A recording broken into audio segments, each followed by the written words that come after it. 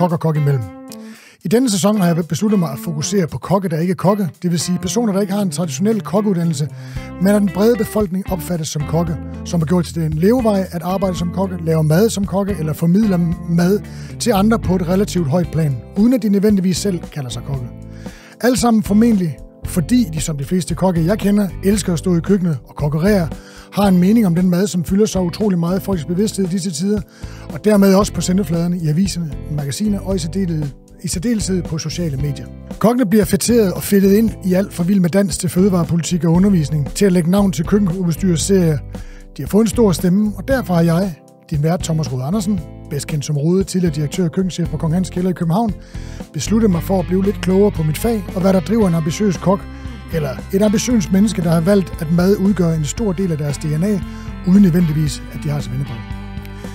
Ude bag forhænget her i Frank Managements lokaler sidder Nico og sikkert en klokkeklar lyd, til lige med at han indimellem skyder et billede eller to undervejs til seancen, og det er som min gode gamle kokkelev og nuværende køkkenchef Anders Striger Poulsen og hans lille ensemble, der har bidraget med den lille, fine musikalske vignet.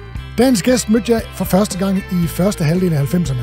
Han var gæstekok på Hotel Fakkelgården i Kolderen, hvor den daværende køkkenchef Christian Bindt havde genstartet begrebet kokketræf, hvor blandt andet flere af landets mest toneangivende og respekterede køkkenchefer mødtes for sammen og sammen med personale på den restaurant, der afholdt kokketræffet, af en hyggelig dag, og nat, har jeg skrevet i parentes, med at lave mad og servere den for privilegerede, øh, de privilegerede gæster, der var så heldige at få en plads til arrangementet. Blandt de andre gæster den dag var der Michel Michaud, dengang Marie-Louise, der var Jean-Louis Lefroy fra Slede Kro, der var Puk Lyskær Larsen fra restaurant Rudolf Mathis i Katteminde, der var Jens Peter Koldbæk fra Christie's i Tønder. Øh, så det var en, en, en, en ret flot øh, forsamling mennesker. Dagens gæst bød, så vidt jeg husker, ind med en dessert på, øh, baseret på Valrhona-chokolade, og ikke mindst en formidabel underholdning i form af et utroligt vellydende og meget, meget højt årende brunsthyl, som vi måske kan få ham til at fremføre her i dag, og så er der sikkert nogen af jer, der ved, hvem det er.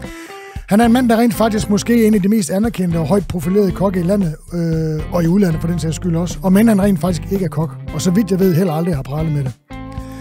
Til gengæld har han haft snuden i alt, hvad der har med mad at gøre. Fra restaurant- og store kantinedrift over fødevareproduktion øh, til store nationale sundhedsprojekter med skolebørn og indsatte i landets fængsler. Han var manden, der i tanker og handling opfandt Noma, restauranten, der satte Danmark på den gastronomiske globus. Han er dommer i kokkekonkurrencer og drager til eksklusiv uh, resorts og kokkererer i deres restauranter, sideløbende med, at han laver tv-køkken globalt. Han tog til New York for at vise amerikanerne, hvad han var, og hvad hans, øh, hvad, hvad han var, og hvad hans hjemlands køkken gastronomi var lavet af. Han fejlede, men stod op og fortalte åbent, sårbart og hudløst ærligt om, hvordan den oplevelse føltes for en mand, der altid lykkes. For derefter spødte de nævne og ufortræden fortsætte, hvor han slap, inden han drog over Atlanterhavet. Og det var her i Danmark selvfølgelig. En mand med så, meget, øh, med så mangfoldige og epokeskabende skudsmål skal man lede længe efter blandt de professionelle kokke med svendebrev. Så i det lys og i kontekst til denne sæsons tema, er det en utrolig stor fornøjelse og ære at byde velkommen til dig, Claus, som jo hedder Maja til efternavn, hvis nogen skulle være i tvivl. tak velkommen til. Tak for den fine introduktion. Hvor er jeg glad for, at du er her.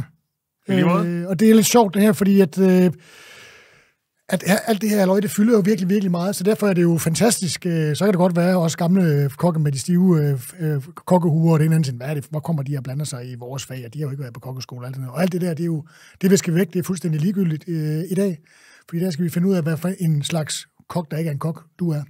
Mm. Du har fortalt din historie rigtig mange gange, men det gør den ikke mindre interessant og relevant. Så vil du ikke fortælle lytterne, øh, hvor den passion for mad, der i den grad har præget dit liv og dit métier øh, til gavn og glæde for 100.000 vis af danskere, stammer fra? Øh, for den stod vist ikke rigtig skrevet i stjernerne, så vidt jeg er orienteret. Nej, jeg voksede op ned på, på Lolland i en lille bit by, der hedder Sundby, øh, tæt på jeg er faktisk tæt på Nykøbing Falster, så jeg, vi, det var den, den østlige del af Lolland. Jeg kunne nærmest kigge over til over på Guldborgsund fra toppen af taget, hvis jeg var gået derop på vores hus. Øhm, og øh, det er jo en periode, hvor min mor, hun, er, altså, hun får mig også meget ung, hun er, hun er lige fyldt 18, da, øh, da jeg bliver født, øhm, og hun, de var alt for unge, min mor og far, til det.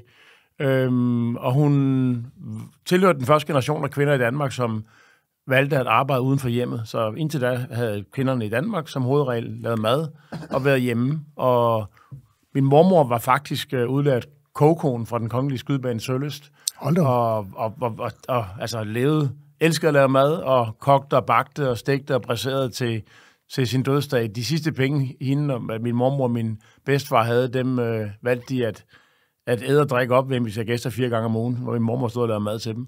Øhm, så min mormor var, var, som jeg boede faktisk hos halvdelen af min barndom, fordi min mormors hus og min mors og fars hus lå meget tæt på hinanden, 600 meter væk. Og min mormor og min bedstefar havde altid, alt den tid i verden, og de forgudede mig. Jeg var øh, deres eneste barnbarn. Øh, og min mor og far havde aldrig tid. De var helt væk hele tiden. Der var fester, og de havde seks på en skid. Så jeg, så, øhm, men, men, men, men jeg var der halvdelen af tiden hos min mor og øh, min far, og så senere, da, min, da de blev skilt, så jeg sad, så bor jeg stadig hos min mor, og min mormor dør desværre, da jeg er 13,5. Øhm, så, så det, der står klarest for mig i, i, i erindringen om min barndom, barndomsmad, det er faktisk, øh, hvor, hvor, hvor, hvor, hvor, hvor absurd latterligt dårligt den var. Ikke? Det var, altså vi taler om rasp og transfedtsyrehold i stegemargarinen, og vi taler om kæmpe, altså vi, jeg tror, vi havde fire kummefryser nede i kælderen, som bare stod pumpeløs. Der, der, lå, der lå formentlig fire tons frossen mad til evig tid. Øh, min far han elskede tilbud, så hvis, hvis, der var, hvis der var tilbud på et eller andet, så kørte vi gerne 30-40 kilometer øh, og købte, øh, du ved, hakkekald eller et eller andet. Så købte vi sådan måske 30 pakker eller 40 pakker og mødte dem ned i sådan en kummefryser. Og så havde min mor, hun havde også, øh, hun var en af de, øh, jeg tror, en af de top 10 største kunder hos, altså blandt private hos det, der hedder Dansk Fryseøkonomi. Ja, præcis. Så hun sad der om aftenen, der krydsede af sådan en katalog der, og så skal hun sende det ind med frimærk på, eller sådan noget, men der kom bare nogle gange, så kom der sådan en hel bjerg af frostvarer, ærter og gulerødder og selleri og isingfilet og alt muligt skraml og lort. Der var måske forkogt øh, fire år før i et land, hvis navn man ikke kunne udtale, medmindre man var født i Rusland eller sådan noget. Ikke? Ja. Øhm, og så kan jeg bare huske, så kan jeg også huske, hvor, at min mor, hun jævnligt sagde hun bare, hvor meget hun, hvor, hvor led hun var ved at lave mad. Altså hun, hun, hun foragtede det, ikke? Hun syntes, det var røvhamrende kedeligt og spild af tid. Hun ville hellere spille lotto, eller hækle, eller lave perleplader, eller sådan noget, ikke? Så, så der, vi havde sådan en køkkenskab fuldt med buddingepulver. Så vi fik tit dessert med sådan en buddingepulver rødt op med noget vand.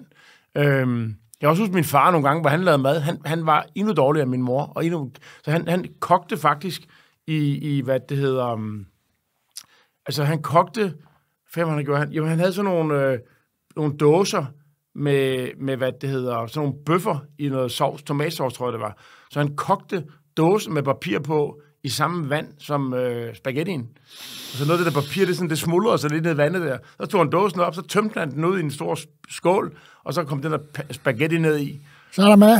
Og så var der sådan noget grane fra pose, ja. som smagte af, af, af dehydreret kattebræk. Det var der trods alt. Altså, der var noget oste-lignende øh, pulver henover. Det er den ekskluderede ja. mælke, fermenteret mælk fra en eller anden fabrik i Ægypten. Ja. Øhm, så, så ja, altså, der var meget sjældent friske grøntsager i huset, og så var der bare altid sådan nogle bøtter med hønsekødssalat, du ved, med to måneders holdbarhed. Og, ja. Altså, den ene grusomhed efter den anden. Det, men det, det, det, var ikke noget, jeg tænkte over, da jeg var barn. Det var ikke sådan, at jeg tænkte, åh oh, nej, nu skal jeg igen spise noget mad, jeg virkelig synes er dårligt i forhold til det, lavede inde på Kong Hans. Jeg anede jo ikke, hvad fin mad var. Øh, min livret dengang var krasser og studenterbrød. Øhm, så, så, så, det var, det var, så mit bundniveau, eller mit topniveau var meget, var meget lavt. Ved lytterne, hvad, hvad en krasser er, tror du? Nogen gør sikkert, men... jeg ved sgu ikke, om de ved det, men, men, men, men tit, når jeg havde spist, der, der var det ved maden, når jeg tilbage på den, at den mættede ikke rigtigt. Jeg ved sgu ikke, det var, det var ellers så mættede den for sent eller sådan noget, men, men der var så lidt, der var så lidt, der var ikke noget smag i maden. Min mor brugte ikke krydderier, hun brugte heller ikke krydderurter, øh, hun brugte ikke fonger, øh, så det var sådan noget sovs, det var sådan noget, inden var det smeltet stegemargarin, som hun hældte hen over maden. Eller så var det øh, skummemælk og mel og margarine, der var jævne, og så smagte det med salt. Stegesky. Og stegesky. Så ja. det, det, var sådan, det var sådan smagsløst. Så man sad bare og... Og, og en ting, der aldrig var, der var, der, der var, der var aldrig syre. Ej, der var ikke syre, I, I citronformage kunne man få en lille smule citronaroma, men der var ikke nogen syre med. Der var det, ingen kontraster. Det var fuldstændig syrefattigt køkken. Hvad mindre man på en eller anden måde havde tilsluttet, man havde nogle gange så fik man så et glas med Asia ved siden af, så kunne man sådan sidde og skove noget af det op på tallerkenen. Jo, men så det var så halvt og halvt øh, sukker og eddike, ikke? Altså, ja, ja. Så, så, så, det sure var der jo ikke rigtig, sure element. Så det, det er sjovt, det bliver sådan en syremand senere i mit liv. Jamen, men jeg er, jeg er på samme måde. Altså, jeg, altså, jeg havde blødløg, fordi det er bare det der ja. margarine, og, og så uh, bare en løg, der er komposteret sådan ned i noget margarine. Ikke? Der er ingen kontraster, men bare to dråber citronsaft og en håndfuld persille, så, så bløde løg er fantastisk. Ja, det er rigtigt. Så det, så det er lidt spøjs, Også, det det der kan med... også gjort underværk af den der hvide sovs, der, det du siger, sagde der. Ja, præcis. Men, Men det er jo sjovt, det der med, at, at, øh, at man har det, uh, det danske køkken, og det kan så helt meget. Jamen, det kan det da også på et eller andet plan. Men der, der mangler jo, altså, der er jo så, det er jo så kontrastfattigt, så man slet ikke begriber det. Altså, Så når man får sådan en gang, øh, hvad det hedder, altså, når man får sådan en gang paneret rødspætfilet med, eller, eller stegt ål med, hvad det hedder, stuede kartofler med persille i, er der, er der får man citron ved siden af, trods alt. og der får man, ja, det ja, kan man. Så der ligesom, man kan lige justere lidt selv. Ja. Men tilbage til krasseren der, så, så, så, så, så, så tit så, så, så tog jeg, jeg spillede skak. Jeg var en god skakspiller. Jeg spillede skoleskak på højt niveau, og øh, spillede også bordtennis. Så tit efter maden, så kørte jeg ligesom over til skak eller bordtennis i Nykøbing Falster, kørte hen over broen, og stoppede så ved, ved grillbaren ved banegården, og tog mig en to-tre krasser, fordi jeg følte sådan en tomhed. Øhm, øh, pølsebrød, nødtørftig lune pølsebrød, hvor der lige var skåret en, en der, der, hvor pølsen skulle ligge, der var der så det hele. er det rigtigt? Så var der ketchup, senap, remoulade, ristet løg, råløg, og de koster 50 øre stykket. Ja. Og så jeg, Jeg, jeg, jeg kan godt, huske, de kostede 75 øre. du boede i København eller noget? Nej, jeg boede på helt ude. Nej, jeg boede jo... Ja, det var, jeg, jeg, du? jeg, er jo lidt, jeg er jo lidt ældre end. Jeg er nede fra Sønderjylland. Altså, Okay, men der er også der er en større, der er større bruttonationalt produkt dernede. Jeg tror, det er fordi, Lolland, det var det, var, det, var det laveste af det laveste. ja, jeg, tror, den var, jeg tror, den var det samme. Men det var jo lidt senere. Jeg er jo lidt yngre end dig, Ja, faktisk, tror jeg. ja. Ja, det Jeg er. er 58. Ja. Altså, noget, noget yngre. Er du du? 58? Ja. Shit. Hvad er du? Jamen, jeg er for 68, så jeg er jo 53. Er du så? Okay, ja. Tæt på. Ja, ja. Men det passer jo meget godt med 25 øre. Ja, det var der, det er rigtigt. Andre, det er jo en hård inflation, ikke? 50, øre, altså 50 procent på, på Trods fem år. Jeg tror, det er noget med den, den, den bunende sønderjyske regionaløkonomi, der, og den der, den der, hvad det hedder, der var, jeg tror, der var lidt mere velstand der i, i, i grænsen mod syd, der, end, end, end nede i, Ikke der, hvor jeg boede. Nå, men, men al den her tristesse... Øh, Ja, det var bare, det var, så det, det, var, det var ligesom, jeg så aldrig min mor, min, min, far var så madglad, altså, min far var faktisk madglad. Så det sjove var, at min far var madglad. Han elskede mad, men det var sådan mere volumen, og det var flødekager og vinerbrød, og altså, det var ikke sådan sofistikeret. Men, men, men, men, men det, der står tilbage for mig også, er, at det var sådan set først, da jeg kommer til, til Frankrig, øhm, som au pair. at jeg, lig- ja, som au pair, at jeg ligesom møder nogle smagsoplevelser, der slår benene væk under mig, og hvor jeg begynder at forstå, eller jeg begyndte at kombinere, eller prøve at ligesom analysere, hvad fanden det var, der foregik i min barndom. Og det, der jo også skete, udover at maden sådan systematisk var øhm, øh, meget ordinær, hvis man kan sige det sådan, øh, og hvor, hvor det handlede ligesom om at spare så meget man kunne. Altså, de ville gerne spare på maden. Så, så jo billigere mad man kunne lave, jo, jo, altså, jo lavere gennemsnitspris per kalorie man skulle bruge, desto lykkeligere var mine forældre. Så det, det prøver at finde det der sweet spot, hvor det var så altså, psy, psykopatisk billigt, men alligevel til at holde ud. Altså, det var lækkert på en klam måde, men, men samtidig psykopat. Der er jo et sted, hvor de to linjer krydser hinanden, ikke? Altså, hvis du går dybere, ja. så, er det, så er det affald, så er der mug på maden. Og, så vi lå lige, altså, det var stadigvæk, Lige altså, det var stadigvæk hygiejnisk at spise. Ja. Øhm, og, og, og, det var sprødet, og der var rigeligt med fedt og sådan noget. Så det gled ned. Kvalitet whatsoever. Ikke i din og min øh, forstand. Så, og så blev det jo så skilt jo. Altså, ja. der, det ender så også med... Må jeg lige komme med en indspark Ja, der? Fordi jeg, jeg har det jo sådan, og jeg irriterer mig jo rigtig meget over det. Jeg har det jo sådan, øh, øh, der er nogle ting, som jeg, ikke, som jeg prøver at undgå at spise, men der er også nogle ting, jeg sagde, jeg kan bare mærke, det ligger dybt, dybt, dybt inde i mig. Altså, de der lorte ting, man fik som barn, ikke? Altså, så man bare, altså, min, min, det er som om, man er opvokset med det, og derfor ligger de derinde og, og rækker hænderne ud, når man kommer forbi en pølsevogn, så kommer der bare sådan to hænder ud, nærmest, Ja, og, og kan- kan griber der rundt om. Og jeg, jeg har sådan, jeg, jeg læfler fuldstændig for lort. Jeg elsker lort. Altså, jeg elsker lort. Jeg, jeg, jeg, jeg gør en meget, meget stor indsats for ikke at spise det, men altså, min inderste inde, der, der, der, er der, der, der er der et væsen, der bare elsker lortemad. Det er virkelig utroligt. Jamen altså, jeg har det også på den måde, at... Øh, altså, jeg, jeg, hvis, du, hvis jeg fik en hotdog, ikke? fuldstændig som den, jeg fik som barn, så ville jeg faktisk kunne spise den med, med fornøjelse. Ja. Øh, hvis jeg fik et studenterbrød fra en gennemsnitlig bager i Nørrealslev, øhm, så ville jeg også kunne spise det med, altså, med, med, altså tror jeg, med ret stor. Og den dag i dag kan jeg faktisk godt spise en snøffel, eller en af de der lyserøde romkugler, som jeg ved ikke, hvordan fanden de er blevet til. Prøv, at tænke en snøffel. Ja, men, eller en træstamme. Altså, jeg, jeg, kan godt, øh, jeg kan godt forbinde mig med det. Ja. Jeg kan godt, min krop kan godt registrere den, den øhm, simple glæde, der er forbundet med det. Ikke fordi det er sådan noget, åh, det fik jeg også som barn. Det er ikke sådan et emotionelt, øh, sådan noget down the memory lane. Det er egentlig bare den smag. Altså, den kan jeg sådan set godt registrere som noget, der egentlig er behageligt i munden. Men jeg spiser meget, eller meget, meget sjældent. Altså, vi taler om måske, hvornår jeg sidst spiste en hotdog, det er måske 10 år siden. Og det er ikke, fordi jeg ikke kan lide den, men det er, fordi jeg, jeg, jeg, jeg, jeg, jeg sætter så meget pris på at kunne spise igennem til det næste måltid af noget mad, som både beriger min sjæl, og fylder mig, altså beriger mine sanser og forkæler mine sanser, og samtidig føler mig med sådan en form for, eller føler mig med en form for velvære. Den der velvære, der er, at du har spist noget, som du føler nærmest er vitaliserende for din krop, hvor du føler, for hver en bid, du tager, så, så bliver du mere, du ved... Øh, Fyldt op. Dynamisk, øh, øh, du bliver, ja, du bliver mere livskraftig, du styrker dit immunforsvar, du, du, du, du forbereder din krop til de næste 10 km.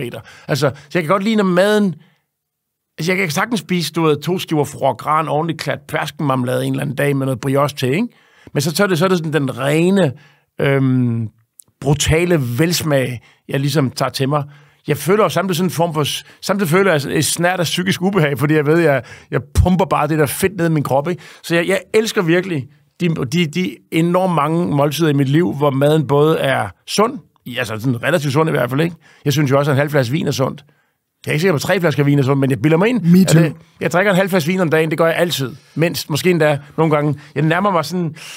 Jeg, lidt uhyggeligt, måske tre fjerdedel af en flaske vin, ikke? Men jeg tænker, når jeg drikker vin, jeg tænker ikke, nu strikker mig ihjel. Jeg tænker, det her, den her halv flaske vin, de tre glas der, sammen med den mad her, det føler, jeg føler, at mit, mit, mit psykiske overskud og min fysiske velbehag vokser alt imens jeg glædes i min kæft. Når jeg spiser hotdogs, eller krasser, Ding. eller, eller studenterbrød, så ja. ved jeg, at jeg nedbryder cellerne i min krop, jeg forkorter mit liv, øh, jeg vågner med kvalme, så jeg betaler en høj pris for den i øvrigt sådan relativt korte vulgære ja. velsmag. Så, så spis sådan en, en lavet for den der sådan en lammeborg, hvor jeg udbeder en lammeborg bare møget til med salvie, rosmarin og hvidløg og groft salt og peber og spidskommen. Så den lå, lå der ind og simrede i fire timer ved 110 grader i en, sådan med det damper sådan lidt, ikke? Altså den, der, den, der, den følelse, jeg fik af at spise den der lamborg, øh, med de der bitterhed fra de der krydderurter og sådan noget, altså det var sådan en, en dyb, det var ligesom om det var en, altså det, det, det, det, det, det, det ramte mig, altså, du tændte, hele min hjerne blev alertet af det der mad der, ikke? Og det gør, det gør en hotdog jo ikke. Den slår, det er bare sådan lige ind i løgneren, ikke? Ja. Og jeg, altså, jeg har evnet, som modsat den, altså, jeg, jeg har ligesom udviklet af alle mulige grunde en, en evne til at modstå for det meste Jamen, det er jo det, jeg prøver. Det er jo også det, jeg prøver. Øh... Du, du, du er muskuløs og i Jo, jo, men, en gang, men, men, men, hvis der står en gang... Men, men, du, spiser, du spiser i virkeligheden spiser du garanteret sundere, end jeg gør. Det, det er jo igen, det, den, den, den, den har vi jo krydset klinger over en gang gennem åren. Den, jeg, jeg tænker ikke, vi tager den. Ja, det kan da godt være, vi skal have det. Men nu, nu ser vi, hvor vi, hvor vi rammer hen med. Vi har jo så meget, vi skal snakke om. Men det er det der med igen, altså man godt mærke, når et, når et måltid er nær en, og, og, og man glædes på alle punkter. På den dybe måde. Og så ja. er der jo det der med, altså med hvad vin, hvis vi lige skulle dvæle lidt ved den, det er jo, at Altså, det er, jo, det er jo meget... Altså, jeg kan godt ryge en cigaret en gang mellem hver øh, tredje måned og sidde ude ved et lejrbål og kigge op på stjernerne og, og synes, at der, der har den sin, sin, øh, sin, sin, sin ret. Øh, jeg gør det meget sjældent, men, men en gang imellem gør jeg det. Øh, og, og der, men der er bare ikke noget godt at sige om cigaretter. Altså, der, der bare, udover den der lille stjernestund der, så er der bare ikke ret meget godt at sige på alle mulige punkter. Men mad og vin sammen, altså det mad og vin kan sammen, er jo er jo unikt. Der findes jo ikke noget, der findes jo ingen større samhørighed end det, og så selvfølgelig det menneske, der skal indtage det, det er klart, men, og, og servere det for den sags skyld også. Men det kan nogle ting sammen, som er fuldstændig fantastisk, ikke? Og det er der ikke ret mange andre ting, der på samme måde kan, altså hvor det er det nærmest symbiotisk løfter og, og, og, og beriger og gør, gør hinanden større. Det er jeg helt enig i, men, men, men jeg, er, jeg er totalt enig. Men, men jeg, man skal ikke underkende det, vin kan øh, altså alene. Så når man kommer hjem der fra arbejde på sådan en lang dag, man er lidt træt, du ved, og man, man ligger lige i telefonen og sætter noget jazz på, på radioen, og begynder at tage lidt ting ud af køleskabet og forberede aftensmaden, og så tager det, det var det første glas iskolde øh, Riesling, rammer ens krop. Ja. Jeg, jeg føler det faktisk, jeg har aldrig taget heroin, men, men jeg kan faktisk nogle gange mærke, når man, når man ligesom når op på den første deciliter alkohol, der hvidvin, ikke? 12,5, 13, 13,5 procent, hvordan det ligesom, jeg føler nærmest varmen kommer helt ud i mine tær, ud min, ned gennem mine arme, så det ruller næsten, som jeg bilder mig ind i heroin, ja. måtte, øhm, måtte ligesom rulle i årene på folk, der taler om det. Det er ikke, det er ikke en ukendt øh, fornemmelse. du kender godt følelsen også. Ja. Men det er jo man også... har gået man har man gået og levet af danskvand og, og hvad det hedder, æblemos hele dagen, ikke? og så får den første, det første skud alkohol i kroppen. Men godt, altså, det det er jo også det, det, det smager jo så forbandet godt, ikke? Altså, og det er jo det der med igen, at altså, jeg drikker rigtig meget, jeg koncentrerer mig rigtig meget om at drikke vand. Jeg drikker kaffe om, om morgenen, og så drikker jeg vand det meste af dagen, ikke? Men nogle gange, så keder man sig simpelthen sådan i sin mund, ikke? Man keder sig i munden, Det er smagsløg, de tænker bare, kan vi ikke snart få et eller andet at arbejde med? Men der er også en forventning i at gå og bygge op, og det er jo igen, altså når du kommer, jeg, jeg kan da godt sådan lige, du ved, nu skal, jeg, nu skal jeg hen for lige pølsevognen og have en hot- hotdog. Det kan jeg godt lige have, det, så kommer der noget mundvand, der lige begynder at arbejde, ikke? Men når du står der og tager, netop som du siger, når man tager råvaren ud af køleskabet, måske over i haven og hente, eller man Ja, er over i. torvehallerne nede, hvis man har et velassorteret supermarked, man kan holde ud og gå i, det har jeg svært ved. Men øh, det der med, at man glæder sig, og allerede ved råvarerne bliver inspireret, og alt bliver ligesom sat i gang stille og roligt. Man er måske rigtig sulten, fordi man har gået hele dagen, og netop prøver at springe hotdoggen over i skyndingen, ja. ikke? Og, og, og lige trukket Ja, den der ser, sult. jeg ser, at du har den der sult. Altså, det, er, jeg synes, det er sådan virkelig det frustrerende de gange, hvor, hvor jeg på en eller anden måde... Altså, det sker jo nogle gange. Øhm, altså, de gange, hvor man... Altså, bare tage det helt banalt eksempel. De gange, hvor man har spist frokost og drukket vin klokken et, og drukket, en, du ved, en, en, lad os sige, en tredjedel flaske vin, og spist en, en, en, en OK pæn frokost. Det er jo slet ikke den samme fornøjelse, at komme hjem klokken 5.30 og begynde at skulle tænke på aftensmad, og tage det første glas hvidvin, som så ikke er det første, det er det tredje. Det smager på en helt anden måde. Det, gør, det, det giver slet ikke den der følelse i kroppen. Så, så, så jeg, selvfølgelig, så jeg, det er også dejligt at spise. Jeg, det, det er jo bare også perverst. Altså, jeg, jeg har det bare på min måde. Men, men jeg, jeg, jeg, jeg holder virkelig af ikke at, at drikke alkohol midt på dagen og spise alt for meget til frokost, fordi det frarøver mig den dybe, dybe sådan, øhm, totaloplevelse, det er at gå ned i gear, vide, der ligger tre timer foran en, hvor man er untouchable, øhm, tage det første glas vin og glæde sig til det næste. Altså, det der øjeblik, det bliver så stort, hvis man ikke er halvstiv øhm, og, og, og, og semi-mæt, når man rammer. Det kan også være dejligt. Claus, vi skal tilbage på sporet. Det har vi svært ved. Øhm, Du, du styrer, Thomas. Jeg, Jamen, vi skal jo tilbage og finde ud af, hvor, hvor, hvor, hvor, hvor, hvor altså, fordi nu du snakket om, hvor nederen mad du spiste. Er det, er det det faktum, at den mad var så nederen, der gjorde, at jeg nu skal jeg, når det, øh, når det er mig selv, der kommer til, øh, når der er mig, der bliver stor og bestemmer, hvad der skal på bordet, så skal det være noget andet. Øh, Eller, eller var det din, din transformation, dit øh, au pair-ophold i, i Frankrig øh, øh, gjorde for dig? Er det, er, det, er det der, kimen ligger? Altså, øhm, jeg, jeg, jeg, jeg, jeg, jo, jeg skal, sige, det er jo ikke så tit, jeg siger noget enormt pænt om min far, men, men øh, fordi vi havde, vi havde et meget kompliceret forhold til hinanden, inden han flyttede. Øhm, men noget, han, han, han gav mig sansen for, mens han boede hjemme, det var faktisk de store fortællinger. Altså, når jeg, det var ikke, det var ikke, fordi han trænede mig, eller lærte mig noget. Jeg kunne bare, når jeg så min far se Tarzan-film, eller når jeg så ham øh, nyde Elvis Presley synge, eller se en film med Elvis Presley, eller øh, lytte til hans musik, når jeg så, hvad der skete med hans krop og hans ansigt og hans væsen, eller, eller vildest af det hele, når han af en eller anden grund, fordi han talte ikke til mig, men når han ligesom hævde mig op om natten, fordi han ville have, at jeg skulle se Muhammad Ali bokse mod Joe Frazier og George Foreman og Larry Holmes og hvad de ellers hed, ikke? Øhm, og, og når jeg ligesom selv ligesom tog, tog de her helte i min fars liv til mig og tog dem ind, øhm, og, og, og ligesom kunne mærke deres fortællinger. Øh, altså Muhammad Ali var, var jo en, en, en borgerretsforkæmper. Han offrede sin, sin, øh, sit, sit VM-bælte, fordi han ikke ville i Vietnamkrigen og gik i fængsel for, for den sag, han troede på. Øhm, fred og lighed mellem mennesker og kærlighed mellem mennesker i verden. Øhm, så, på en, så på en eller anden måde, så min far, han, uden at vide det, tror jeg, så, så, så, så nedlagde han i mig sansen for de store historier, de store fortællinger. Så da jeg kommer til Frankrig og, og bliver fuldstændig blown away over, hvor meget dejlig mad der var, og hvordan de spiste. Lange måltider på flere timer, med flere forskellige retter. I min barndom var det 10 minutter og en ret. Hernede, der var, der var der sådan en hel øh, en portefølje af retter, der kom sådan ramt bordet i en eller anden tilsyneladende koreograferet rækkefølge med forskellige drikkevarer, som blev introduceret. Folk havde gjort sig umage, folk havde brugt penge. Det mindede kraftigt om kærlighed. Øh, og det startede i Paris, og så blev det helt vildt, da jeg kom til Gascogne hos den der renaissancefamilie, som var, han var bager, fjerde generation, og kok og konditor, og lavede bryllupper til folk, og han var en levemand, og penge betød ingenting. Han havde ikke nogen penge. Han, man havde kølerum, der var mad inde i, det var rigeligt. Øh, og så gik han bare gennem livet og strøede om sig med digte og måltid, og var helten på vejen, og han havde det der fjerde, han havde alle de der opskrifter fra sin oldefar og sådan noget. Øhm, så jeg, jeg, jeg, jeg, jeg drog den slutning som ung, at der måske var en sammenhæng imellem øh, kærlighed og velsmag. Øh, eller, eller god, hvor der var god mad, var der måske god kærlighed. Og, og, og, og mit bedste empiriske grundlag at tale ud fra, og måske mit eneste, det var jo min... Altså, der var mange skilsmissebørn i, i min ungdom, øh, og i min egen familie, havde jeg jo bare set, hvordan mine forældres øh, ægteskab var kollapset, alt imens de havde købt mikrobølgeovn, så de kunne lave mad på endnu hurtigere tid. Uden at, altså, Så det er endnu mindre tid sammen. endnu mindre tid, og, og, endnu, og vi sad der og spiste og talte ikke sammen, og maden smagte ikke af noget. Og så så jeg ligesom bare et, et, et, et meget, meget sensuelt, øhm, kærlighedsfyldt, og frem for alt så, det der også det var vildt, det var jo de der to mennesker, jeg kom ned til i Gascogne, da jeg fik leverbetændelse i Paris.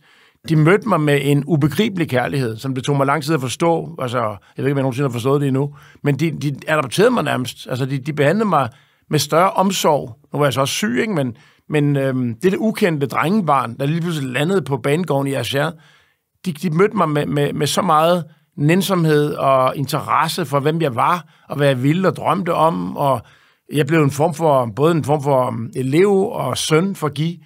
Øhm, de kunne ikke få børn og sådan noget. Øhm, så så, så den, det, det, der vokser på mig, det er, om, om, om hvordan det kan være, at jeg skulle opleve så mange år i et emotionelt og kulinarisk mørke, og så lige pludselig befinde mig i et sted, der, der føltes som paradis på jord. Hvordan, hvordan havne, var det et tilfælde, du havnede lige præcis der, eller, eller var det forsynet, eller, eller hvad? Så det var nok et til, jeg ikke, det var, det var et tilfælde, jeg, altså, jeg, jeg havner, jeg, jeg, jeg, jeg ved ikke rigtig, hvad jeg skal efter gymnasiet øh, med mit liv, øh, og så um, i sidste øjeblik, inden jeg er nødt til at tage stilling til en eller anden uddannelse, øh, fordi det var, man, man tog ikke sabbatår dengang, så min, min, min ældste der, hun har taget tre sabbatår, min nummer to var også et par sabbatår, den her, der skulle man bare videre. Jeg anede ikke, hvad fanden jeg skulle videre til, og så lige pludselig, så var der sådan, så Henning Lorentzen, formanden for Nykøbing Tennisklub, hvor jeg spillede øh, for, han sagde til mig, at hans gode veninde, Annie i Paris, kendte en tandlæge, som manglede nogle pærer. Og den røg jeg på. Jeg, havde ikke, jeg var ikke så god til strygning og rengøring, men jeg oversolgte mine evner lidt der. Og, og så kommer jeg ligesom, så lander jeg i det 17. arrondissement i Paris, og bliver ligesom sat til arbejde for den her tandlæge og hans øh, søn. Øhm, og jeg var så dårlig til, til at stryge og gøre rent, så han, han altså, det kan jeg simpelthen ikke have det her, men kan du så ikke gå ned og købe ind og begynde at lave noget mad for os? Fordi det, det må du da for fanden kunne finde ud af. og så satte, man, så satte jeg mig ned i tid, så blev jeg træner for det franske mesterhold i badminton i stedet for, så jeg begyndte at få sådan et, et lukrativt liv, hvor jeg ligesom fik maden tættere og tættere på, at lære at lave øh, du ved, cassoulet og confit canard, bøf bourguignon og pomme rissolet og Øhm, altså de der retter, som tandlægen nu spiste, øh, stegt øh, kalveny og sådan nogle rustikke franske retter. Men så får jeg så leverbetændelse i Paris på et tidspunkt. For måske har jeg stukket mig på de her tandsyl. Øhm, jeg skulle rense og sterilisere. Øhm, og så bliver jeg virkelig træt. Altså virkelig, virkelig, virkelig træt. Og jeg kan godt se, at det, det, det, jeg kunne ikke være til nogen nytte. Og han boede på femte sal, og jeg lå bare deroppe op og var ikke længere en, en hjælp for familien, men mere en byrde. Og så havde jeg mødt i Danmark hos den samme tennisklubs formand, søsteren til konditoren Gis kone. Og hun har sagt, hvad jeg husket, at hvis du nogensinde har brug for at komme ud, ud af Paris, så skal du ringe til min søster og hendes mand.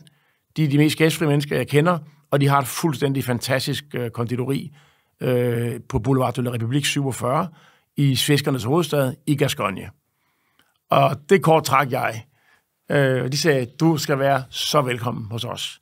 Så fik jeg slæbt mig hen til Garçon Lazare, og så er jeg på vej til Asha med en kuffert, som jeg trak efter mig. Og der starter dit liv. Der starter, der kan du sige, der, der, der, der, der, der indtræffer den mest radikale øh, transformation øh, af, af mit livs rejse øh, nogensinde.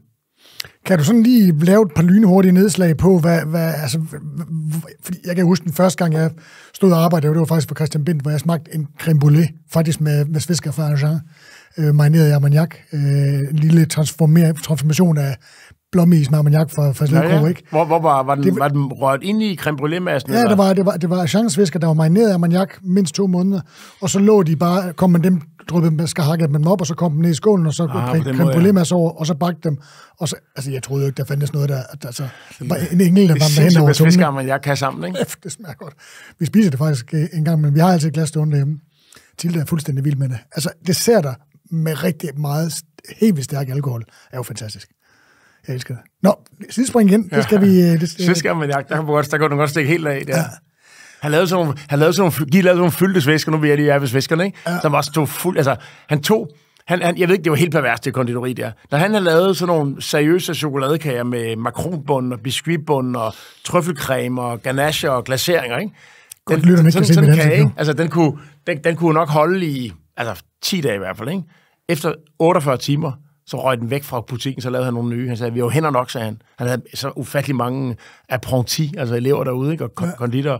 Men så tog han så den der chokoladekage og kom den over i rørkæden. Ikke? Det, jeg var helt, altså, det var helt sindssygt at se. Så hældte han, uh, hvad det hedder, um, altså, du, så har du, der er faktisk 5 kilo chokoladekage, der bare er pakket med chokolade og mandler. Så rørte han praliné ja. og marcipan, og, og så tømte han en flaske Armagnac eller to derned, og så, og så toppede han det op med noget meget sådan frugtrig sviskemarmelade. Og så, um, og så, hvad det hedder, og så rørte han det på den der rørkæde, sådan en, en ordentlig motherfucker. Altså, det var drømmenes studenterbrød, ikke? Ja. Og så op i, sådan lidt til den bløde side, og så op i øh, nogle sprøjteposer. Og så havde han nogle andre svisker, som han havde puttet ind i ovnen, lunet dem, så, så kødet løsnede sig og trukket stenen ud af dem. Så pumpede han den der fars op i røven på, hvad det hedder, på de der svisker der, ikke? Ja. Og så blev de så enten glaseret med sådan en sukkerdag bagefter, eller også så blev de overtrukket med 70% øh, kakaoholdig guanara-chokolade, ikke? Oh. Og så var sådan en sviske der, måske sådan 130-40 gram, ikke? Og når du bed i den sviske, ikke? Og så kom ind til midten der, hvor de der armagnac, chokolade, mandler, marcipan og, og flere svisker. Skulle vi lige kigge ned i din taske, om du har på stykker af dem med?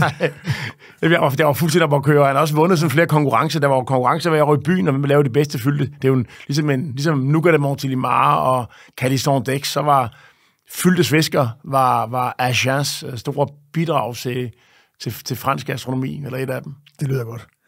Men er det, er det dem, eller hvad? Kan, kan du huske det første måltid, hvor, du, hvor du sådan, eller er det bare en, en tid, der ligesom, øh, hvor alt bare blomster og øh, eksploderer og går amok? Men jeg kan huske første gang, jeg spiser, også nede hos ski, første gang, jeg spiser, altså, øh, hvad det hedder, um, første gang, jeg spiser gis brioche med øh, en skive foie gras og et glas sauterne. Ja. Noget så simpelt, ikke? Ja. Altså, det er fucking løgn, mand. Altså, ja. det, det er jo kan noget smage så godt? Hva? Kan noget Jamen, det er jo løgn, at man kan spise det her, ikke? Ja. Jeg husker også, jamen, jeg husker også første gang, vi var ude, så han, han gik ud og samlede, vi fangede krebs i skovene dernede, øhm, og han lavede écrevisse à l'américaine, flamberet ja. og... Med fløde øhm, og hele bivtøjet. Og, og, og, men første gang jeg smagte, øh, vi samlede også Karl Han havde hvor der bare var Karl Johannesvamp, ikke? Altså, altså første gang jeg smagte ude på landet, hvor hans svigerforældre, og sådan en stor pejs med i, og sådan nogle store pander, hvor vi stegte øh, Karl Johansvamp med persille og hvidløg til sidst, ikke? Ja, jeg tænkte, det var, jeg tænkte, jeg, aldrig, jeg har aldrig, jeg, jeg kendte marksvamp, jeg kendte champignon, ikke? At første gang jeg smagte en Karl Johansvamp, og det sjove er jo, at jeg havde ikke nogen forudsætninger for at bedømme svamp. Jeg, jeg, jeg var ikke sådan en skole som svampekspert, så det var bare mit, mit, mit, mit biologiske krop, mit, mit, mit, mit umiddelbare sansapparat, der bare blev voldtaget af den der karakter. Altså, det var bare, det voksede på mig på den ja. vildeste måde, så det er, jo, det er jo vildt, at man kan være biologisk disponeret for at registrere skønheden i en svamp. Nu ved vi jo, du og jeg, at der er en grund til, fordi vi har smagt så mange ting, og vi, ligesom, vi har lært os at, at, at, øh, at elske teksturen og dybden og nuancerne i den der karotensvamp, og det er noget helt andet end bare den der champignonsmag, ikke? Men dengang havde jeg jo ikke en skid forstand på noget som helst. Og, og Men det er også frygteligt, altså når man så, så mærker, at det, man bliver forløst, og, og, og den der, det der sansapparat ligesom får lov til at... Og, og, der er jo en grund til, at vi har det sansapparat, som vi har. Øh, det er jo en, en af grunden til, at vi, vi har overlevet som race, ikke? Altså, men så er det også frygteligt, at man, man er i et samfund, øh, og i særdeleshed, da vi voksede op, hvor det ikke var der. Altså det, det, altså, det var der jo ikke. Altså, du fik jo ikke lov til at, at, at bruge dit sansapparat på rigtig på samme måde, fordi det, du kunne jo ikke købe råvarer, der smagte sådan der. Nej, der, der, der, er jo ikke, der er jo ikke bedre ting, medmindre man har brændt et eller andet på, vel? Altså, så, så, så, der var masser af, der var syren, så der var ikke noget syrligt, der var ikke noget bitter, der var ikke noget aromatisk intensitet, det var bare sådan et tyndt, sjasket, vandet mad. Lidt, lidt sødt. Fedt, okay. lidt sødt. Så, så kan jeg huske kanelerne. Han lavede også kanelerer. Oh. Og jeg kan bare huske den der, jeg husker allerede, altså det var en, det var en Bordeaux-specialitet, som ligesom også, der var ikke så langt, at Agen er jo sådan, måske 150 km fra Bordeaux, så man lavede bare alle seriøse øh, konditorier og bagerier i, Agen lavede bare kanler, og Guy han havde igen sådan en eller anden helt legendarisk opskrift med fleur d'oranger og zeste de citron og øhm, nogle helt specielle æg, han brugte. Han fik sådan nogle æg ind fra, fra nogle bønder, leveret direkte. Og, og så kan jeg bare huske den der, hvor sindssygt det var. Altså forskellen på en kanlet, der, der lige er kommet ud af formen, og sådan en kanlet, der er 6 timer gammel. Altså det var, det var, helt, det var helt rystende. Og, og, og, hvad fanden var jeg lavet? Så kaneleren var helt vild. Jeg spiste jo kaneler til morgenmad dernede, ikke? Som ligesom som dessert. tyk? Hvad? Var du tyk? Ikke dengang. Ja, det, det, det, var sådan et helt andet kapitel. Jeg, var jo, jeg fik jo nærmest bulimi som teenager. Øhm, og faktisk, da jeg ankom som au pair i Paris, der, der var jeg faktisk øh, altså redselslagen for at blive fed igen. Så jeg, jeg havde... Eller jeg fik ikke rigtig bulimi. Jeg brækkede mig ikke. Men, men jeg vil sige, det var måske det var sådan en blanding mellem bulimi og anoreksi. Og, og, og, og, og, og, og summen var, at jeg ikke kunne spise mig mæt med god samvittighed, fra jeg var 16 til jeg var 18,5. Øh, så jeg havde dårlig samvittighed, når jeg var mæt, og jeg var nærmest kun lykkelig, når jeg var hammerne sulten, fordi jeg var så bange for at blive fed.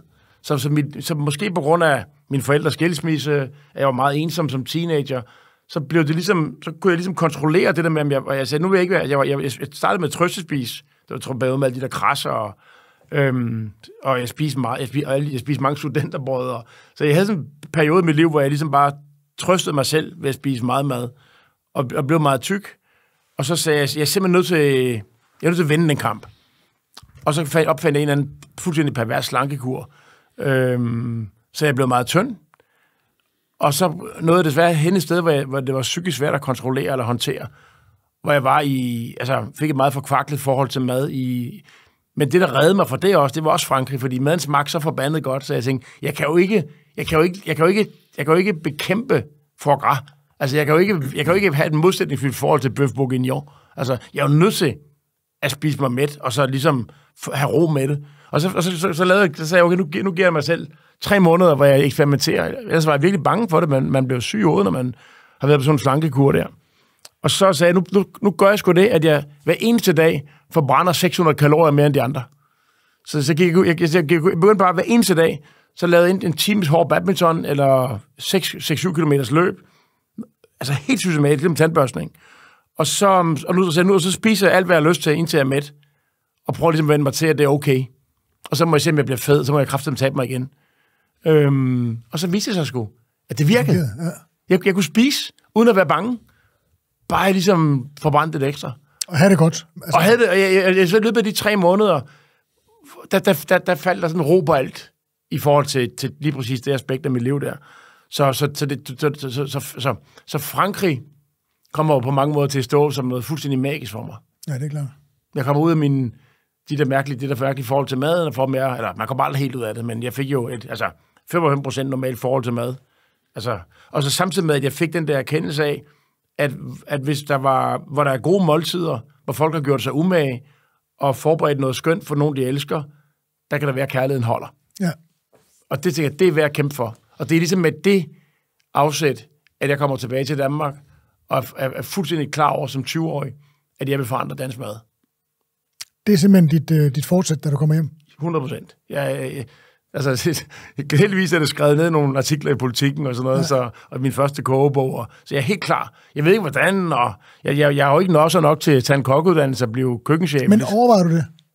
Nej, fordi... Hvorfor gjorde jeg egentlig ikke det? Altså, jeg tænkte... Jeg tænkte for det første, at måske er det lidt for utopisk, at jeg kan ligesom blive sådan en, der forandrer dansk mad. Så det, det vil nok være klogt at have en, en uddannelse at falde tilbage på, det tænker jeg. Og jeg tænkte, jeg var relativt, jeg var relativt dygtig boglig, så jeg tænkte, det var måske smartere at tage en uddannelse for en sikkerheds skyld.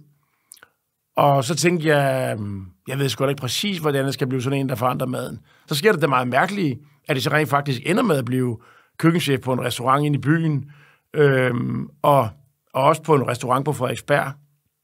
Byen hed den, øh, hed den øhm, øh, Café Pascal, som faktisk fik god anmeldelse for sin franske mad.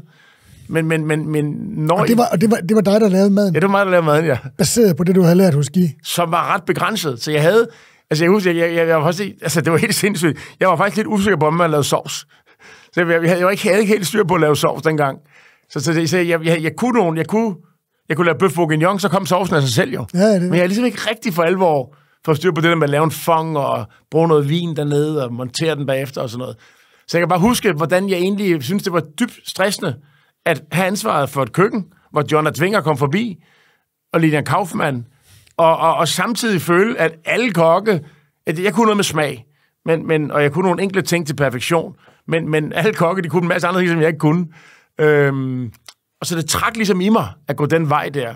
Men jeg synes også bare, der var så mange andre ting, jeg, jeg var nødt til at gøre, hvis jeg skulle vandre dansk. Jeg troede ikke på, at jeg kunne stå nede i den kælder og, vandre, og, og lykkes med min drøm at skabe kærlighed i Danmark og, og, og åbne danskernes øjne for det mirakel, maden kunne være, og som havde ramt mig som et stingermissil i, i hovedet i Frankrig. Og jeg var, altså, jeg, jeg tænkte, hold kæft, man er osten. Jeg smagte på ost og skrev navn nede på alle de ost, jeg smagte. Jeg havde sådan en bog med 800 ost, jeg havde smagt. Gaperon og Epoisse, og hvordan smagte de? Altså, det, den der verden af smag, Kraft, som fuldstændig åbnede sig op, ikke? Og jeg kun, jamen, jeg kun, jeg, ikke, man siger det aldrig mere, vel? Hvidløg og peber. Ja, præcis. Den der. Og, så, og, og jeg har kun smagt Havarti og Lillebror, ikke? Jeg tænkte, fuck, mand! Altså, jeg er nødt til at sige det her. Gud har gjort, gjort det muligt for mig. Jeg har fået den her oplevelse. Jeg, jeg, er nødt til, jeg er nødt til at fortælle det. Jeg, jeg er nødt til at åbne mine landsmænds øjne for den verden af herligheder. Og det, jeg, jeg, jeg, blev... det var en pligt for dig. Altså, det, var... det var en glæde. Det var et kald. Det var... Jeg tænkte også, det var måske en levevej. Jeg kunne, jeg kunne måske nære mig. I stedet for at blive...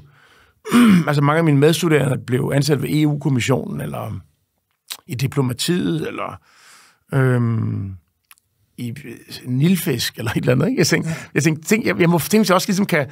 Det, jeg brænder så meget for, den, den, den historie, jeg har så meget behov for at fortælle, fordi jeg synes, at, at jeg vil gerne have, at andre skal have den samme følelse for maden, som jeg har, og den samme glæde ved de måltider, som jeg har set, man kunne have nede i Frankrig. Jeg ville så gerne have, at andre skulle have de samme...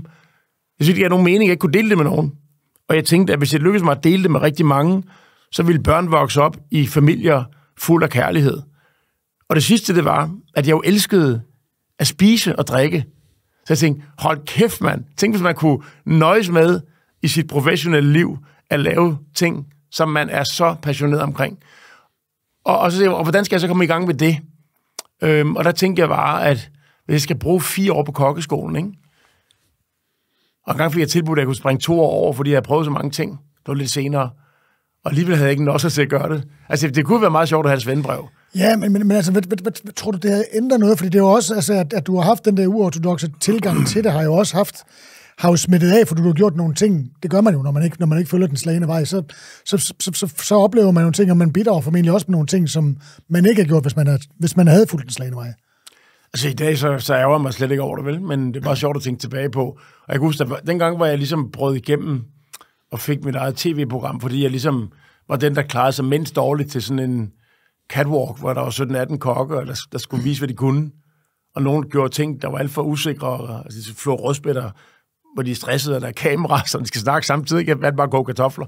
Øhm, så, jeg, så jeg, ligesom, jeg fik det der program, der hed Majas Køkken, ikke? og der, der var sådan en lille smule misundelse dengang, kan jeg huske, og jeg var ikke rigtig kok og sådan noget. Ikke? Så jeg følte, jeg følte mig som sådan en undermåler, der ikke rigtig var øh, en del af... Ind, Indtil, de der, indtil der var nogen, altså faktisk, øh, jeg tror det var Michaud og Lauterbach og Christian Bent og sådan nogen, der ligesom, mange franske, jeg kunne så mindst tale fransk jo, så ja. der var ligesom, på en eller anden måde, så blev jeg ligesom, de bare mig frem og sagde, Claus, du kan sgu nogle ting, du må gerne være med i Eurotalk, og så blev jeg formand for Eurotalk, som var kokkenes kokkeforening, og det gav selvfølgelig en form for anerkendelse, men det, det, det gjorde ikke helt, at, at, at jeg ligesom gik fri af, at der var nogen kokke, som synes, at jeg var jeg pyntede mig med lånte fjer. Selvom jeg aldrig, jeg tror aldrig, jeg kaldte mig kok, vel? Som du selv siger. Men, men, men, men men, men, så jeg havde bare sådan en følelse af, at der taget af kagedåsen, fordi jeg ligesom arbejdede med maden på den måde, og formidlede den med den kraft, jeg gjorde.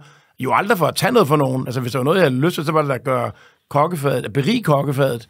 Øhm, men, men, men, øhm, men, men, det, men det, det, altså det fik du vel også lov til, at komme i hvert fald til at gøre, fordi at du havde nogle evner, som, som kokkene måske ikke havde, altså mm-hmm. formidlingsevner og ting, så er det jo ikke fordi, ja. at der, der var rigtig mange, der er sindssygt dygtige, og, men, men ligesom at formidle tingene på det plan, altså så, så, så, så langsomt sker der jo så også det, jeg tror, at altså det så Lauterbach har jo været sådan en form for, en form for protektor for mig næsten i alle årene, og, og når folk sagde noget dårligt bag, når ikke jeg selv var der, så beskyttede han mig altid, og så, jeg tror, det er så, der så tiden gjorde sit arbejde, og så fandt folk ud af, at, øhm, Altså, jeg havde ikke, jeg havde ikke øh, altså, mit hoved op i min egen røv hele tiden, og jeg, jeg gjorde noget for branchen og for faget, og skabte opmærksomhed omkring restauranter, og, og ligesom også skabte nogle nye muligheder, og viste nogle nye veje gennem de ting, jeg gjorde. Jeg var mere optaget af at, at, at vise nogle nye muligheder, nogle nye veje, end jeg var at, at bygge et imperium.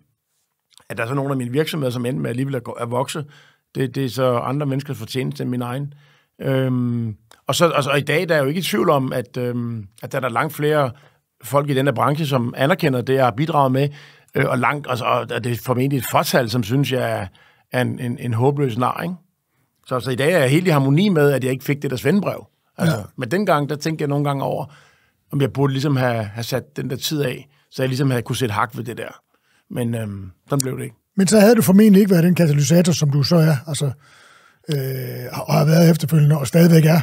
Altså, ja, der kunne du sige, at jeg så brugt, så har jeg vel mistet, så jeg vel brugt, du ved, jeg ved ikke, hvor mange tusind timer på at tage svendbrød. Altså, jeg kunne så have gået, jeg kunne sådan set have lavet de samme ting, som jeg gør i dag, og jeg tror ikke, jeg ville have lykkedes bedre med de ting, jeg har beskæftiget mig med, fordi jeg har haft et svendebrev. Og jeg tror aldrig, jeg ville... Altså, nogle gange, jeg kan jo virkelig, virkelig, virkelig godt lide at lave mad til mennesker.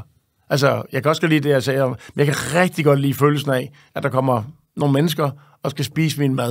Og jeg gør mig rigtig umage fordi jeg føler, at de skal fandme ikke sige, at de ikke fik god mad, og det, de skal ikke sige, at fordi han ikke er... Så det ligger ligesom dybt i mig. Så når jeg laver seks retter mad til nogle mennesker, ikke? hvad enten det er kokke eller private venner, så gør jeg mig sygt umage. Også fordi jeg elsker, jeg elsker blikket i deres øjne, når de sætter gaflen i maden og tænker, fuck, det smager godt det, ikke? Det må du have prøvet mange gange, for du arbejder på en rigtig, rigtig god restaurant. Jeg gør det jo bare derhjemme, og folk har selvfølgelig lavere forventninger, når de går på Geranium eller på Kong Hans, men, men, men de har selvfølgelig stadig store forventninger, og det er lidt mere simpel mad, jeg laver, øh, fordi jeg er alene i køkkenet, men øh, du ved også godt, at man, man kan godt ramme balancen i en strandkrabbebisk eller i en ceviche, øh, eller i en, en, en, en øh, salat med puntarella og... Øh, og blodappelsiner, så noget så simpelt bare får det til at vine i, på tungen og i kæften på gæsten, ikke? Og, og, den, altså, det, det kan man lave på relativt overskuelig tid, sådan nogle ting der.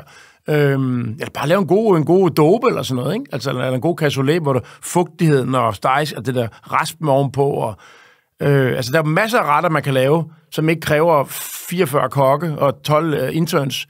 Øhm, og hvor man kan give folk en kæmpe oplevelse i munden. Og det er, det er en af de ting, jeg holder mest af i hele mit liv, det er de gange om måneden, hvor der kommer gæster, og hvor jeg har lavet lidt flere retter, end de troede, øhm, og, og, og, og hvor det lykkes, og det gør det jo heldigvis for det meste, fordi jeg grundlæggende laver noget mad, jeg kan finde ud af at lave, hvor det lykkes at give dem den der følelse, og man kan også se, når de går hjem, ikke? De, hvor de bare siger, føler, de føler sig opfyldt af taknemmelighed, glæde, vellyst, kærlighed til livet, de har også fået noget vin undervejs. Så, så skabe de øjeblikke, øhm, er på en eller anden måde, det, det, på en eller anden måde er det, det, det hele startede med for mig.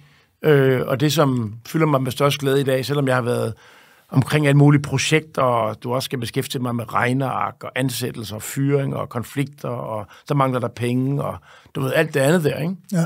Inde i midten af det hele, der ligger der bare den der glæde ved, at give den menneske den oplevelse, der er, når, der er en smag, der rammer dem, som den rammer mig, der jeg var 20 i Gascogne. Vægter det mere, tror du, end, end anerkendelsen?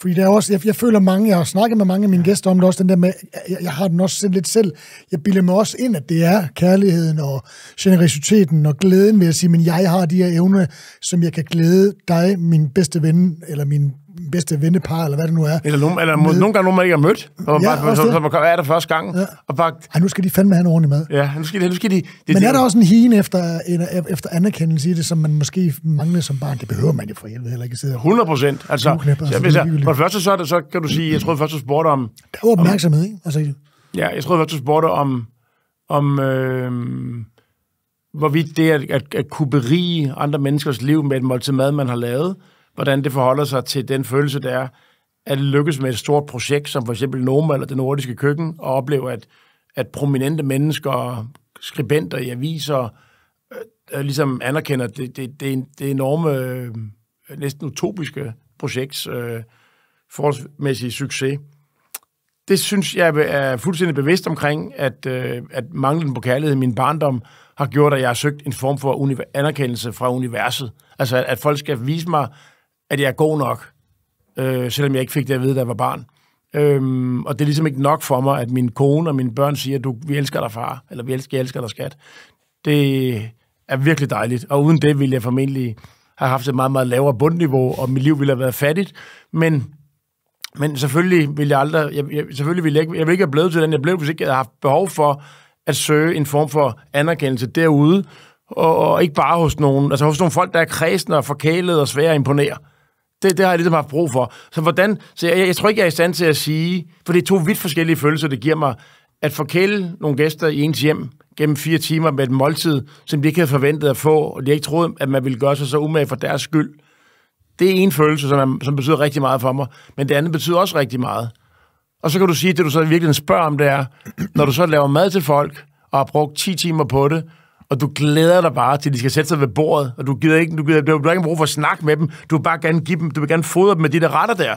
Er det så i virkeligheden deres anerkendelse, du søger, eller er det, er det glæden ved at øhm, kunne stå der over hjørnet og bare se, hvad der sker ved bordet, samtalen, der folder sig ud, de sidder rigtigt, vin i glasset, og stemningen stiger, og det, det fungerer, og, og det der bliver et øjeblik, man vil huske i lang tid.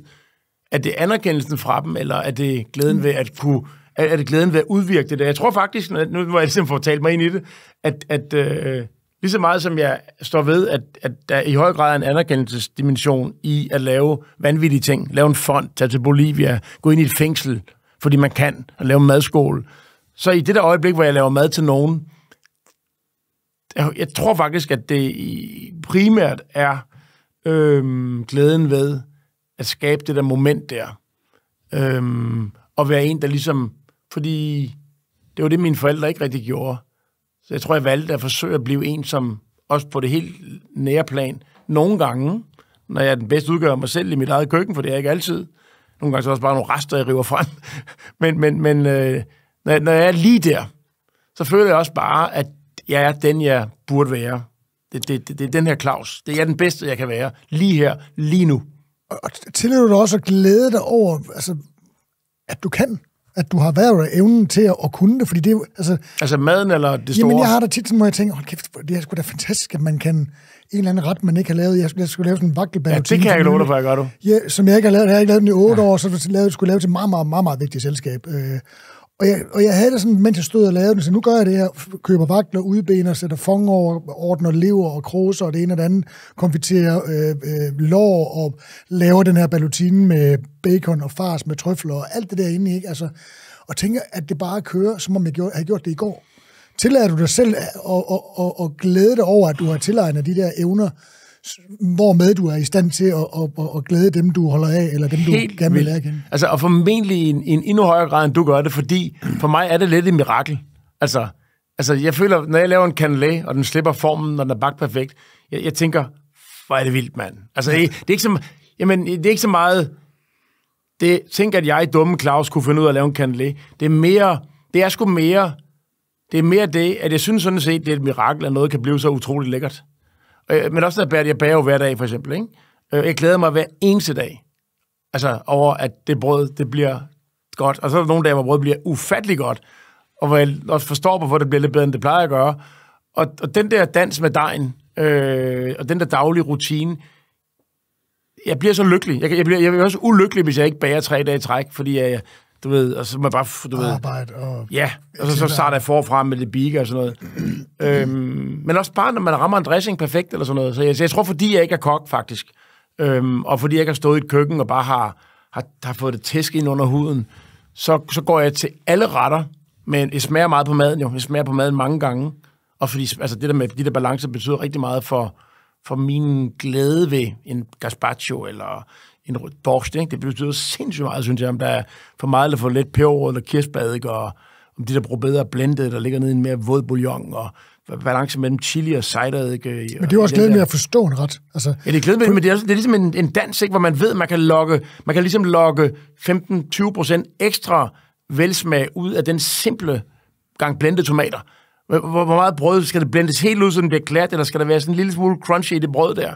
Øhm, hvor, hvor meget chili skal der en lille smule sukker i, fordi der, og for, så kan man skrue lidt op for eddiken, uden det kommer over og bliver for surt. Altså, det der arbejde der, jeg, jeg, hver eneste gang, jeg står og laver mad, så gør jeg de ting, altså, jeg bortset fra de få gange, hvor jeg, eller, altså, de mange gange på et år, hvor jeg laver mad, hvor jeg gør mig umage, øhm, og det er jo heldigvis sådan, det for det meste er, så gør jeg det der, og jeg, jeg, jeg, jeg er fuld af glæde, jeg er lykkelig, jeg glemmer alt omkring mig, ligesom når man ser en fodboldkamp, eller spiller tennis. Så jeg, jeg, når jeg er i det øjeblik, så glemmer jeg alt det andet, som livet er fuld af, og telefonen og sådan noget. Men du glemmer øhm, ikke lige at tage et sip af din vin. Jeg, nej, men, men, men og så tilbage til, du spurgte om, jeg er, jeg, jeg, er, jeg er dybt taknemmelig. Og jeg taler tit med mine børn om det. Og det, der er det fantastiske, det er, at, at øh, jeg jo ikke tvunget dem i køkkenet med far. Og tit er jeg også for travlt til at holde dem beskæftiget, fordi jeg skal også lige på arbejde, og mails og folk, der ringede. Så jeg, jeg har haft, imens ungerne var små, Øh, var min, var, fik jeg tit lavet rigtig god mad og flere retter hver dag hurtigt. Og hvis ungerne var med, så stod de hakket løg, og det gad de ikke, vel? Så jeg var utrolig dårlig til på en pædagogisk måde at engagere mine børn i nogle ting, der var virkelig...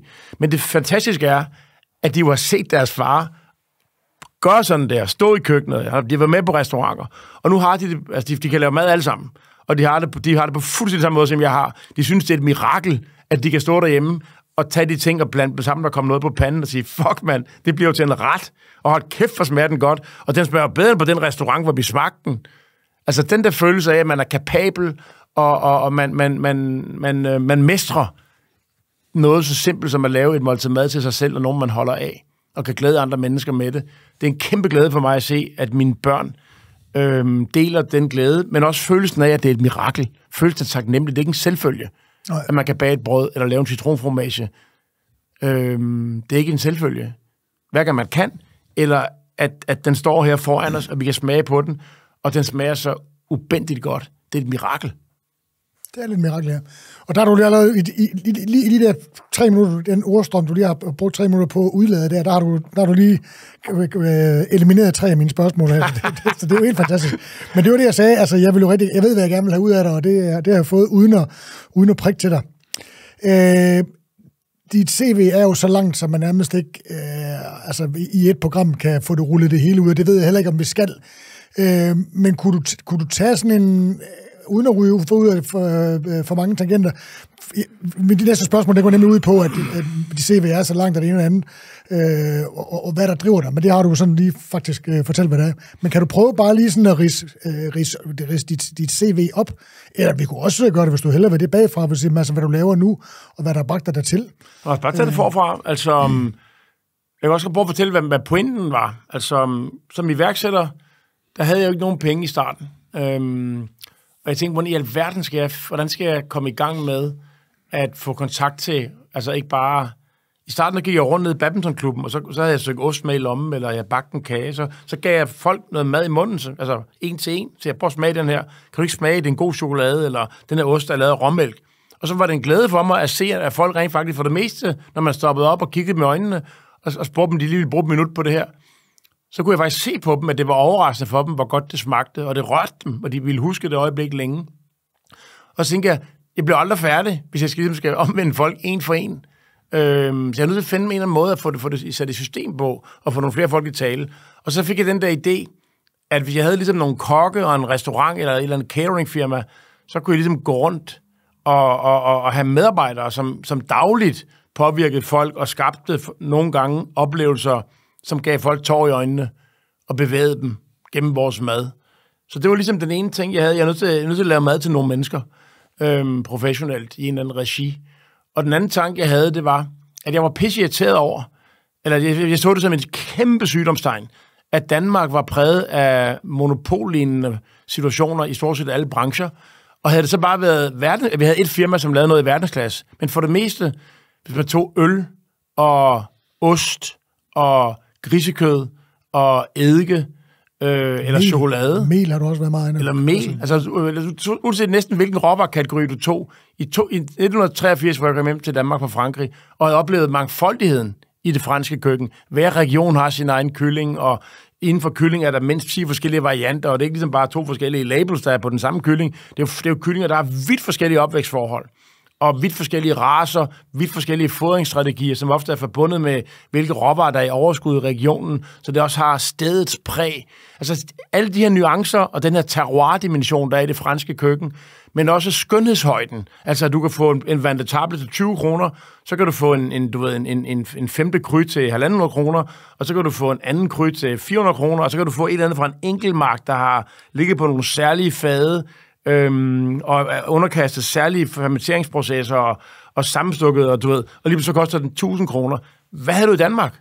Når du tager osten, du tager, så er der Odal Pass, så er der sådan nogle køer, der går ned i Savoyen i 2.500 meters højde, og en, en særlig, en, en historisk kogerasse, der afgræsser blomsteringen, som aldrig har været under plov, hvor der er en, den største koncentration af vilde blomster noget sted i verden per kvadratmeter. Der går koner og æder blomsterne, og så, så malker man, håndmalker dens, dens yver, og så får man den der sommerråmælk ud, og så laver man en, en, en, en ost i nogle koverkar. Som man har gjort i århundreder. Og den koster, den smager, så man, man, der er så mange, der, der, smagen den udvikler sig igennem 40 sekunder i kæften på dig.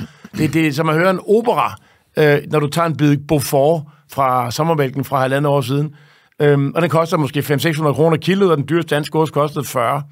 Så, så, så, så, jeg var, jeg var, jeg var, så det var for at sige, det var sådan en intro til, det der var min anden plan, da jeg var helt ung, det var, for jeg har ikke nogen penge jo. Det siger, hvis jeg ligesom kan få skabt et initiativ i nogle forskellige brancher, hvor der ikke sker en skid i Danmark, hvor, hvor der er en fødevare, og alle folk tror, at kaffe det er Gevalia, ost det er Arla, øl det er Pilsner, øh, eddike det er lagereddike til en kron literen i Aldi, Altså, hvis jeg kunne gå ind i de der brancher og lave et initiativ, jeg var selvfølgelig ligeglad, om det var en virksomhed, eller et projekt, eller en happening, eller um, en pop-up, eller hvad fanden det var. Hvis jeg bare kunne komme i, komme i gang med at udtrykke mig og vise folk, at øh, det kunne også være, at eddiken kunne være lavet æbler. Det kunne være, at ved siden af senator og panelle og hvid crunch, så var der Grand Cru chokolade. Det kunne være, at man kunne lege sig ind hos øh, Dansk Kaffekompani ude i Albertslund hos Coop og få lov til at om natten, når resterne var gået hjem, at reste sine egne bønder, som man har købt til en langt højere pris.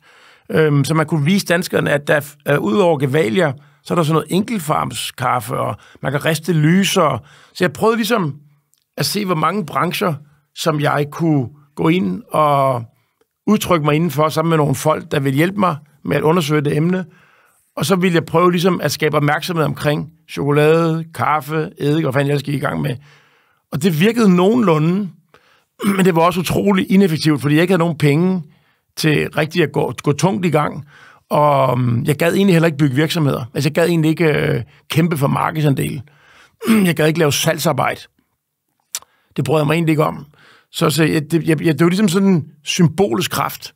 Øhm, og, mm, og så fandt jeg så ud af, at det der så sker nu, så det der så sker omkring 2000, og hvor jeg kommer på færden af en anden måde at arbejde på, og, og begynder på det her med nummer det nordiske køkken, der får vi en helt anden idé. Hvad nu, hvis jeg i stedet for at gå rundt og tro, at min opgave i livet det er personligt, enhændigt, at reparere på alle mulige brancher, det er jo en umenneskelig opgave.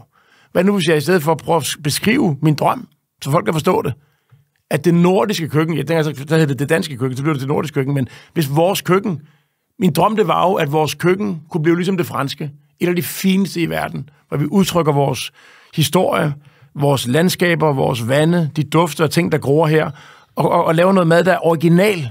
Jeg, kunne, jeg var allerede den fornemmelse af, at måske kunne mad smage på en anden måde end fransk mad, og alligevel være vidunderlig. Måske fandtes der en mulighed for, at maden kunne smage på, som om noget, man aldrig smagt før og, og måske lidt, eller når man mødte nogle etniske køkkener, og, og, og ramme dig, ramme dig i, i munden og give dig en anden stemning, end når du spiser bør blanc eller hollandaise. Øhm, og tænk, hvis man kunne kombinere vores eget råvaregrundlag med, med hvad det hedder, um, med en anden måde at lave mad på, så vores køkken blev ikke bare fik en terroir-dimension, men også blev distinkt unikt. Øhm, så det var ligesom en ene ting, der, der flyttede mit fokus. Øh, men det taget mig mange år at nå til den erkendelse, for jeg var jo den største ambassadør for franske retter, og alle mine kogebøger i starten var jo fyldt med franske retter. Råvarer, du importerede? Ja, importerede kanebryster og trøfler, raviol de royance og picodonost og valnødder fra Grenoble, og jeg havde en importvirksomhed. Ja, frugt og chokolade og nødder. Det er rigtigt. Jeg var den vildeste frankofil mand, men, så jeg var sådan skizofren i starten, fordi... Men du har også brugt det til, ligesom, til at inspirere de produktlinjer, du så har været med til at starte herhjemme, altså eddike, der, som du siger, af æbler. Det behøver ikke bare være et eller andet, du ved, der er lavet. Jeg er kæmpe inspireret af Frankrig, men det var selvfølgelig en systemfejl i, i de første 10-15 år af min rejse, at jeg var så optaget af, at vi skulle at vi skulle ligesom, øh, så at sige, hive Frankrig til Danmark for, at, at, at, øh, at der ville være noget, der var værd at have med at gøre herhjemme. Fordi det, jeg så kom på færden af, det var, at det måske var en fejl. Måske skulle man i stedet for, måske skulle jeg i stedet for have brugt mine ressourcer på at øh, undersøge potentialet i vores eget råvaregrundlag, og i en, en måde at lave mad på, som var mere unik. Det skulle tage mig 15 år, 16 år, at turde tro på, at jeg ikke behøvede øh, stå på skuldrene af det franske køkken. For, men Thomas, bare lige sige, der er sådan en anden ting, der kom på færden af, der, i stedet for at gå rundt alene at prøve at opfinde virksomheder i forskellige brancher. Jeg lavede jo Estate Coffee, som blev til øh, Copenhagen Roaster, som inden Coffee Collective fandtes, og jeg lavede det der eddikeprojekt, som du ved, og, og så gik vi i gang med æblerne, og øhm, jeg startede, jeg startede Valrhona-importen. Men, men, men, men, men jeg så fortsætte den idé der tæt på år 2000, at tænk, hvis man kunne engagere alle mulige andre mennesker og virksomheder og politikere og forskere og undervisere i at samarbejde omkring i fællesskab at realisere nogle forandringer i hele madlandskabet, som på et tidspunkt kunne føre til, at der skete så store skift i vores, øhm, i vores blik på tingene og mulighederne, i vores måde at, at, at gå til produktudvikling og, og etablering af restauranter på, så, der, så man en dag ville tænke, okay, nu er der lige pludselig efter x år opstået et nyt køkken. Wow! Så jeg gik fra at tænke, det er min opgave, til at jeg kan, hvis jeg beskriver drømmen, visionen, så kan jeg måske få andre mennesker til at føle, at det også er deres vision. Hvis vi kan dele visionen. Jeg fik det, vi kan dele den. Det kan være vores allesammens vision. Hvis, hvis vi bare får formuleret den her vision i et sprog, så folk ikke føler, at de bliver holdt udenfor. Så da vi skrev manifestet, øh, gjorde vi os meget umage, Jan Krav Jacobsen og jeg. Vi havde sådan en proces, hvor vi talte med, jeg tror, 50, 60, 70 mennesker gennem et helt år, og vi forsøgte at skrive øh, manifestet i et sprog, så det dels kunne være kokke, der var afsender på det, men også på en måde, så de store virksomheder, monopolerne, dem vi egentlig ikke var så begejstrede for, at de kunne føle sig inspireret af det, og ikke føle sig skubbet væk, men føle sig inviteret til at komme indenfor og bidrage til hen ad vejen i deres eget tempo, at, at, at, at, at, at skabe den forandring, der var behov for i Danmark. Så det er vel, så nu er vi så frem, Thomas, det var det, det tog 7 minutter, men, men der nåede vi også lige 19 år i mit liv der. Det er da skidt godt. Men er det, jeg vil ikke være med at stusse over det, og det, det, det, det er jo smukt det der med, og, og, især nu, hvor man ser, hvor det hele er landet lige nu, fordi det er jo aldrig statisk, det er jo altid på vej videre, øh, heldigvis for det, og heldigvis for, for det, for sådan nogen som dig, med, og mig for den til skyld også. Men, men, men det kan jo ikke lade være med at sige, altså, man er jo også, nu har vi jo været med begge to, også da, da, da, da der kun var skoddeost, ikke? Og, så, og set, så begynder man at lave oster, der minder om noget, man har i udlandet. Man kalder dem, kalder dem måske ovenikøbet et eller andet, der minder rigtig meget om, om det, de hedder i deres hjemland. Ikke?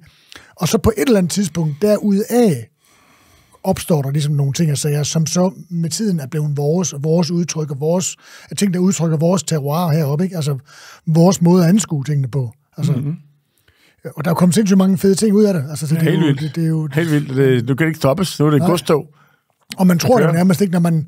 I hvert fald nu har jeg jo sådan en klassisk uddannelse, ikke? Og var i mange år også. Altså, det er, det er jo stadigvæk... Jeg, altså, jeg, jeg får øvet, hver gang jeg er ude at spise, og ser det, som man laver på blandt andet nogle af andre steder. Ikke? Altså, mm. hvor man tænker, altså, sidste gang jeg var her, der havde I fundet, opfundet noget helt nyt, som ikke var der før. Nu har I så lavet noget, der, der er endnu mere nyt. Og noget, som, altså, jeg, jeg kan ikke, altså, hvor kommer det fra? Altså, hvor, hvordan bliver I ved med at hive kaniner op af hatten? Jeg synes, det er helt utroligt. Altså. Og jeg glæder mig over det. Altså, det gør jeg.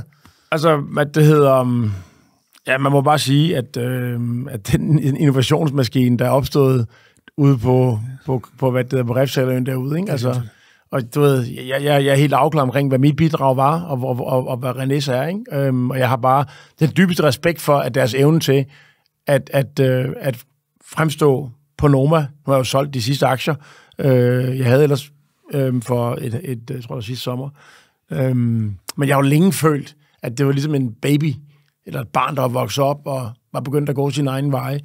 Og man, man kan kun have den vildeste respekt for, at, at, at, at Norma-holdet formår at, øhm, at, at, at, at altså vedblive med at være relevante og, og, og i nogen grad dagsordensættende og, og komme med nogle menuer, ja, så i stor grad, ikke? Et udtryk, som er så, så um, personligt og, um, og men også værtskabet, synes jeg også, nu er jeg derude for måske 8-10 dage siden, Øhm, jeg prøver, prøver at spise derude en, en, tre gange om året, ikke? Ja, det øhm, det er. Og der er bare den der måde, man, altså, er det jo ikke kun Og fordi... du står i bare røv hver gang, ikke? Altså, du står fuldstændig i bare røv og siger, altså, okay, super.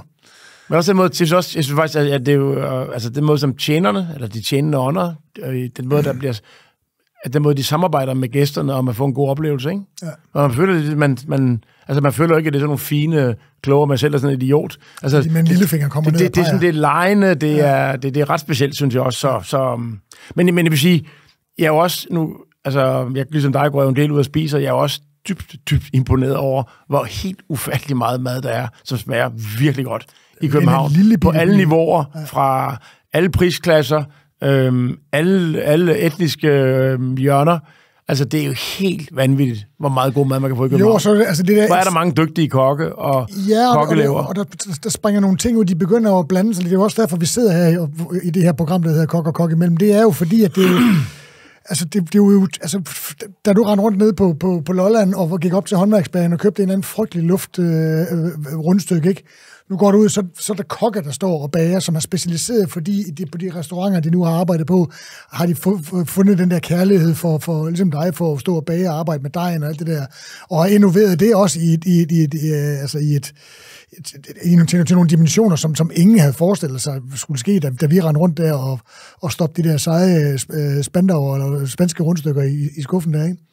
Så det har jo også ligesom fået altså, højt specialiserede, specialiserede kokke, som arbejder på Michelin-restauranter og andre gode restauranter. Der er jo rigtig mange andre gode restauranter, der ikke er Michelin-stjerner. 100 procent, ja. Øh, men det der, man ligesom tager ting ud, og så, og så, og så forfiner, og ligesom og er glad og tilfreds øh, i det. Altså, nu, jeg har jo, når jeg arbejder i den her meget, meget fine restaurant i mange år, nu vil jeg bare perfektionere brød. Altså, mm. Det er ikke. det er da imponerende. Det er jo, det er jo ligesom, jamen, det er jo det er også sjovt, det er kokke, der skal revolutionere brødet, ja. Det, jeg sgu tror, det, det er det der blik, den der sans for, den der det, detaljeri, altså den der sansen for detaljerne i smagen, konsistenserne, råvarernes Men oprindelse. kunne en bager ikke lige så godt have det, siger, nu har jeg gået med det her. Og nu er det bare ikke en bag... Jeg tror, det var det jo, jo det, i teorien jo, men på en eller anden måde, så tror jeg måske, at altså uden at at det, altså, det der starter omkring, spørgsmålet er, hvornår det starter. Altså, man kan også sige, at det starter måske med, det ved du selvfølgelig godt, Thomas, at før Noma sker der jo det, at, øhm, og formentlig også, at det er jo før dig, tror jeg, ikke? men der, sker, der kommer der en periode på en 3-4 år, hvor flere hundrede øh, unge, meget unge kokke bliver sendt ud på to-stjernede og tre-stjernede restauranter i Europa øh, i flere år. Tror, René for eksempel var på øh, Jardin de Sens, og han var ja. på El Bulli, og, og så også på, på um, French Laundry. Præcis, ikke? Ja. Så når man sender unge, øh, ud, glimrende danske mennesker ud i verden, arbejder for de ypperste køkkenchefer og restauranter, og lærer metoderne, sansen for altså, Ah, detaljerne i, hvordan du håndterer råvarerne, og organiserer øh, afvikling af service, øh, og forbereder dig på, at gæsten skal ikke bare have en god oplevelse, men skal, være, skal, skal beruses af det, der sker. Altså, det er jo en helt anden måde at arbejde på, end på Hotel Det Hvide Hus i Majbo. Øhm, så når der kommer 200-300 unge mennesker hjem, og når de så, så prøver, så, så, så når det nordiske køkken, med den sans for etikken, og, og det der med, at kokken har et samfundsansvar, og man udvikler et nyt sprog, så der, der, der, der opstår jo et, øhm, altså jeg ved ikke, om man skal beskrive et rum for kokke der i, i 2003, 4, 5, 6, 7, 8, 9, 10 derudaf, som er helt vanvittigt inspirerende. Ja, hvor man lærer, Og, og vanvittigt, sprog. hvor, hvor, altså. hvor, hvor du simpelthen hver eneste dag går du på arbejde for at skabe noget, ingen har set før. Ja. Øhm, hvor du som bager, ikke, så så du bare lave nogle flere studenterbrød, øh, noget flere spandauer. Så, så, der, så, så kokkene blev af forskellige årsager, ikke kun det nordiske køkken, også det, der lå forud, og sikkert også nogle andre ting. Øhm, der opstod der en energi, øh, et moment. Jo, men, men, men, men det, jeg prøver at spørge på, det er bare så, kokkene stod jo også bare og lavede sparsup, og sparsup og lige med to dråber indtil det skete, jeg lige beskrev. Ja, ja. Men så, som det, om det er kokker, der står og bliver ved med at lave sparsup med gul frugtfarve i hver dag, eller det er, er bager, der står og laver, laver øh, studenterbrød. Men den revolution, jeg prøvede at beskrive før, og det der med, at man sendte folk ud til de bedste, ja, det, jeg, tror ikke, de, jeg tror ikke, der var en hel generation af unge var måske. som var ude på de bedste, på landet og sådan noget. Og der kom jo heller ikke den, altså det der med, den revolution, der så ramte brødet jo. Øh, altså, jeg tror, vi startede vores bageri i syv, ikke? og Emrys var allerede lidt i gang, og Auren havde lavet noget med korn og mel, men ikke så meget med brødet. Altså, det, det starter på en eller anden måde fra køkkenet. Ja, fordi Emmerys var, var, var. Han var også kok, jo. ikke? Ja, var sgu også kok, ikke? Så, så, så den, den store interesse for maden og råvarerne, det startede ikke på mejerierne heller. Det startede ikke på slagterierne. Det startede i køkkenerne. Øhm, Hvorfor, hvor, hvorfor tror du så ikke, at der var nogle bager, der tog ud, ligesom der var nogle kokke, der tog ud? jamen, jeg tror faktisk, det med kokkene, tror jeg, var faktisk var skolens opfindelse. Det var um, altså et random choice, ikke? Nej, fordi at, ja, der var der mange, altså jeg var jo også ude og sådan noget inden. Altså, Men det var faktisk det var, det var under deres læretid. Det var sådan noget, der var, det var Søren ja, Kylvejen og... det, det, det, kom lidt, det kom lidt, men, men der var jo mange kokker, der tog ud. Altså efter, når de var udlært og tog, tog, tog til udlandet, ikke? Det var ikke det. Jamen, det er rigtigt nok, det blev, altså, de lavede den internationale. Jeg tror, at det var med til at gøre, at, der, at der, det, var, det var nemmere... At, at det var en af årsagen til, at der kom så mange gode kokke og restauranter så hurtigt Det eskalerede Øhm, måske der. Det, det har jeg aldrig i på. perioden ja. efter. Øhm, og så... Der, der, der, jeg tror ikke, man kan sige andet end, at... Og så var der Bocuse d'Or og sådan noget, som også inspirerede nogle kok til at gå hele vejen, ikke? Altså, ja. det var også en, den konkurrence gjorde noget andet end VM for kokke landshold. Altså Bocuse d'Or med de der træningsaspekter og sådan noget. Det var en ja. Jesper Kok og Kente Hansen og alle de danske kokke, der har ligesom gået den vej, Rasmus Kofod. Øhm, så jeg synes, der er nogle ting, der ligesom bliver hypet helt vildt. Øh, Nordisk Køkken, Noma, Bocuse d'Or, og det med de 300 kokke, der tog ud der, øhm, som selvfølgelig skaber et vanvittigt energifelt. Øhm, og, og det der med, at der kommer journalister herop, og, og vi har det manifest og sådan noget. Ikke? Jeg tror, så, så brød og baning bliver ligesom en provins i det landskab der, mere end et, et epicenter for innovation. Ja. Tror jeg, det er mit bedste bud. Men det er, det er bare lidt sjovt, det kommer, kommer ja, inden fra ja, den branche ja, alene. Ikke? Altså, det er rigtigt. At, at der ikke er nogen, der siger, at nu har vi set post-mix-blandinger til alverdens mystiske boller, ikke? Og det mest kreative, vi fandt ud af i 30 år, det var at lave en kajkage, ikke? Altså, det, det er jo sindssygt. Er det sjovt, det? Det er jo sindssygt, en branche ja. ikke siger, prøv at nu er vi simpelthen nødt til at, at lige at vende øh, bagpapiret og se, om der skulle være noget på den anden side, ikke? Det er underligt, der kommer nogen fra en branche udenfor, som jo selvfølgelig ja. har over... Altså, der er jo selvfølgelig er der snitflader og nogle, øh, og nogle øh, en, en sfære, der ligesom går ind over, nogle sfære, der går ind over hinanden. Men det er da pudsigt, at det er en anden mm, branche, rigtigt. som i gamle dage var meget opdelt, altså kokke, slagter, bager. Nu er der altså roder kokkene med alting, og de er jo tumler rundt med charcuterie og pølser ja, det er og alt muligt. Man kunne altså, næsten sige det samme om, om, om charcuterie, kunne man ikke det? Jo, jo, det, jo det, er måske ikke så, det er måske ikke så synligt. I Nej, det er måske også for alle mulige andre slags mennesker, der, ja. der ender med at lave en god skænke. Øh, det er ikke nødvendigvis kokkene, det kunne også være andre. Det er selvfølgelig nogle slagter, der gør det også, ikke? Ja. Men, men... Og der er jo lidt, der er jo lidt, lidt, lidt, lidt slagterkokket også, der ligesom er brudt ud. Øh, Michael Musset og, og øh, Christian ja, Puglisi gør også rigtig meget. Ja, Polita ja. så er det en slagterkok, ja. ja.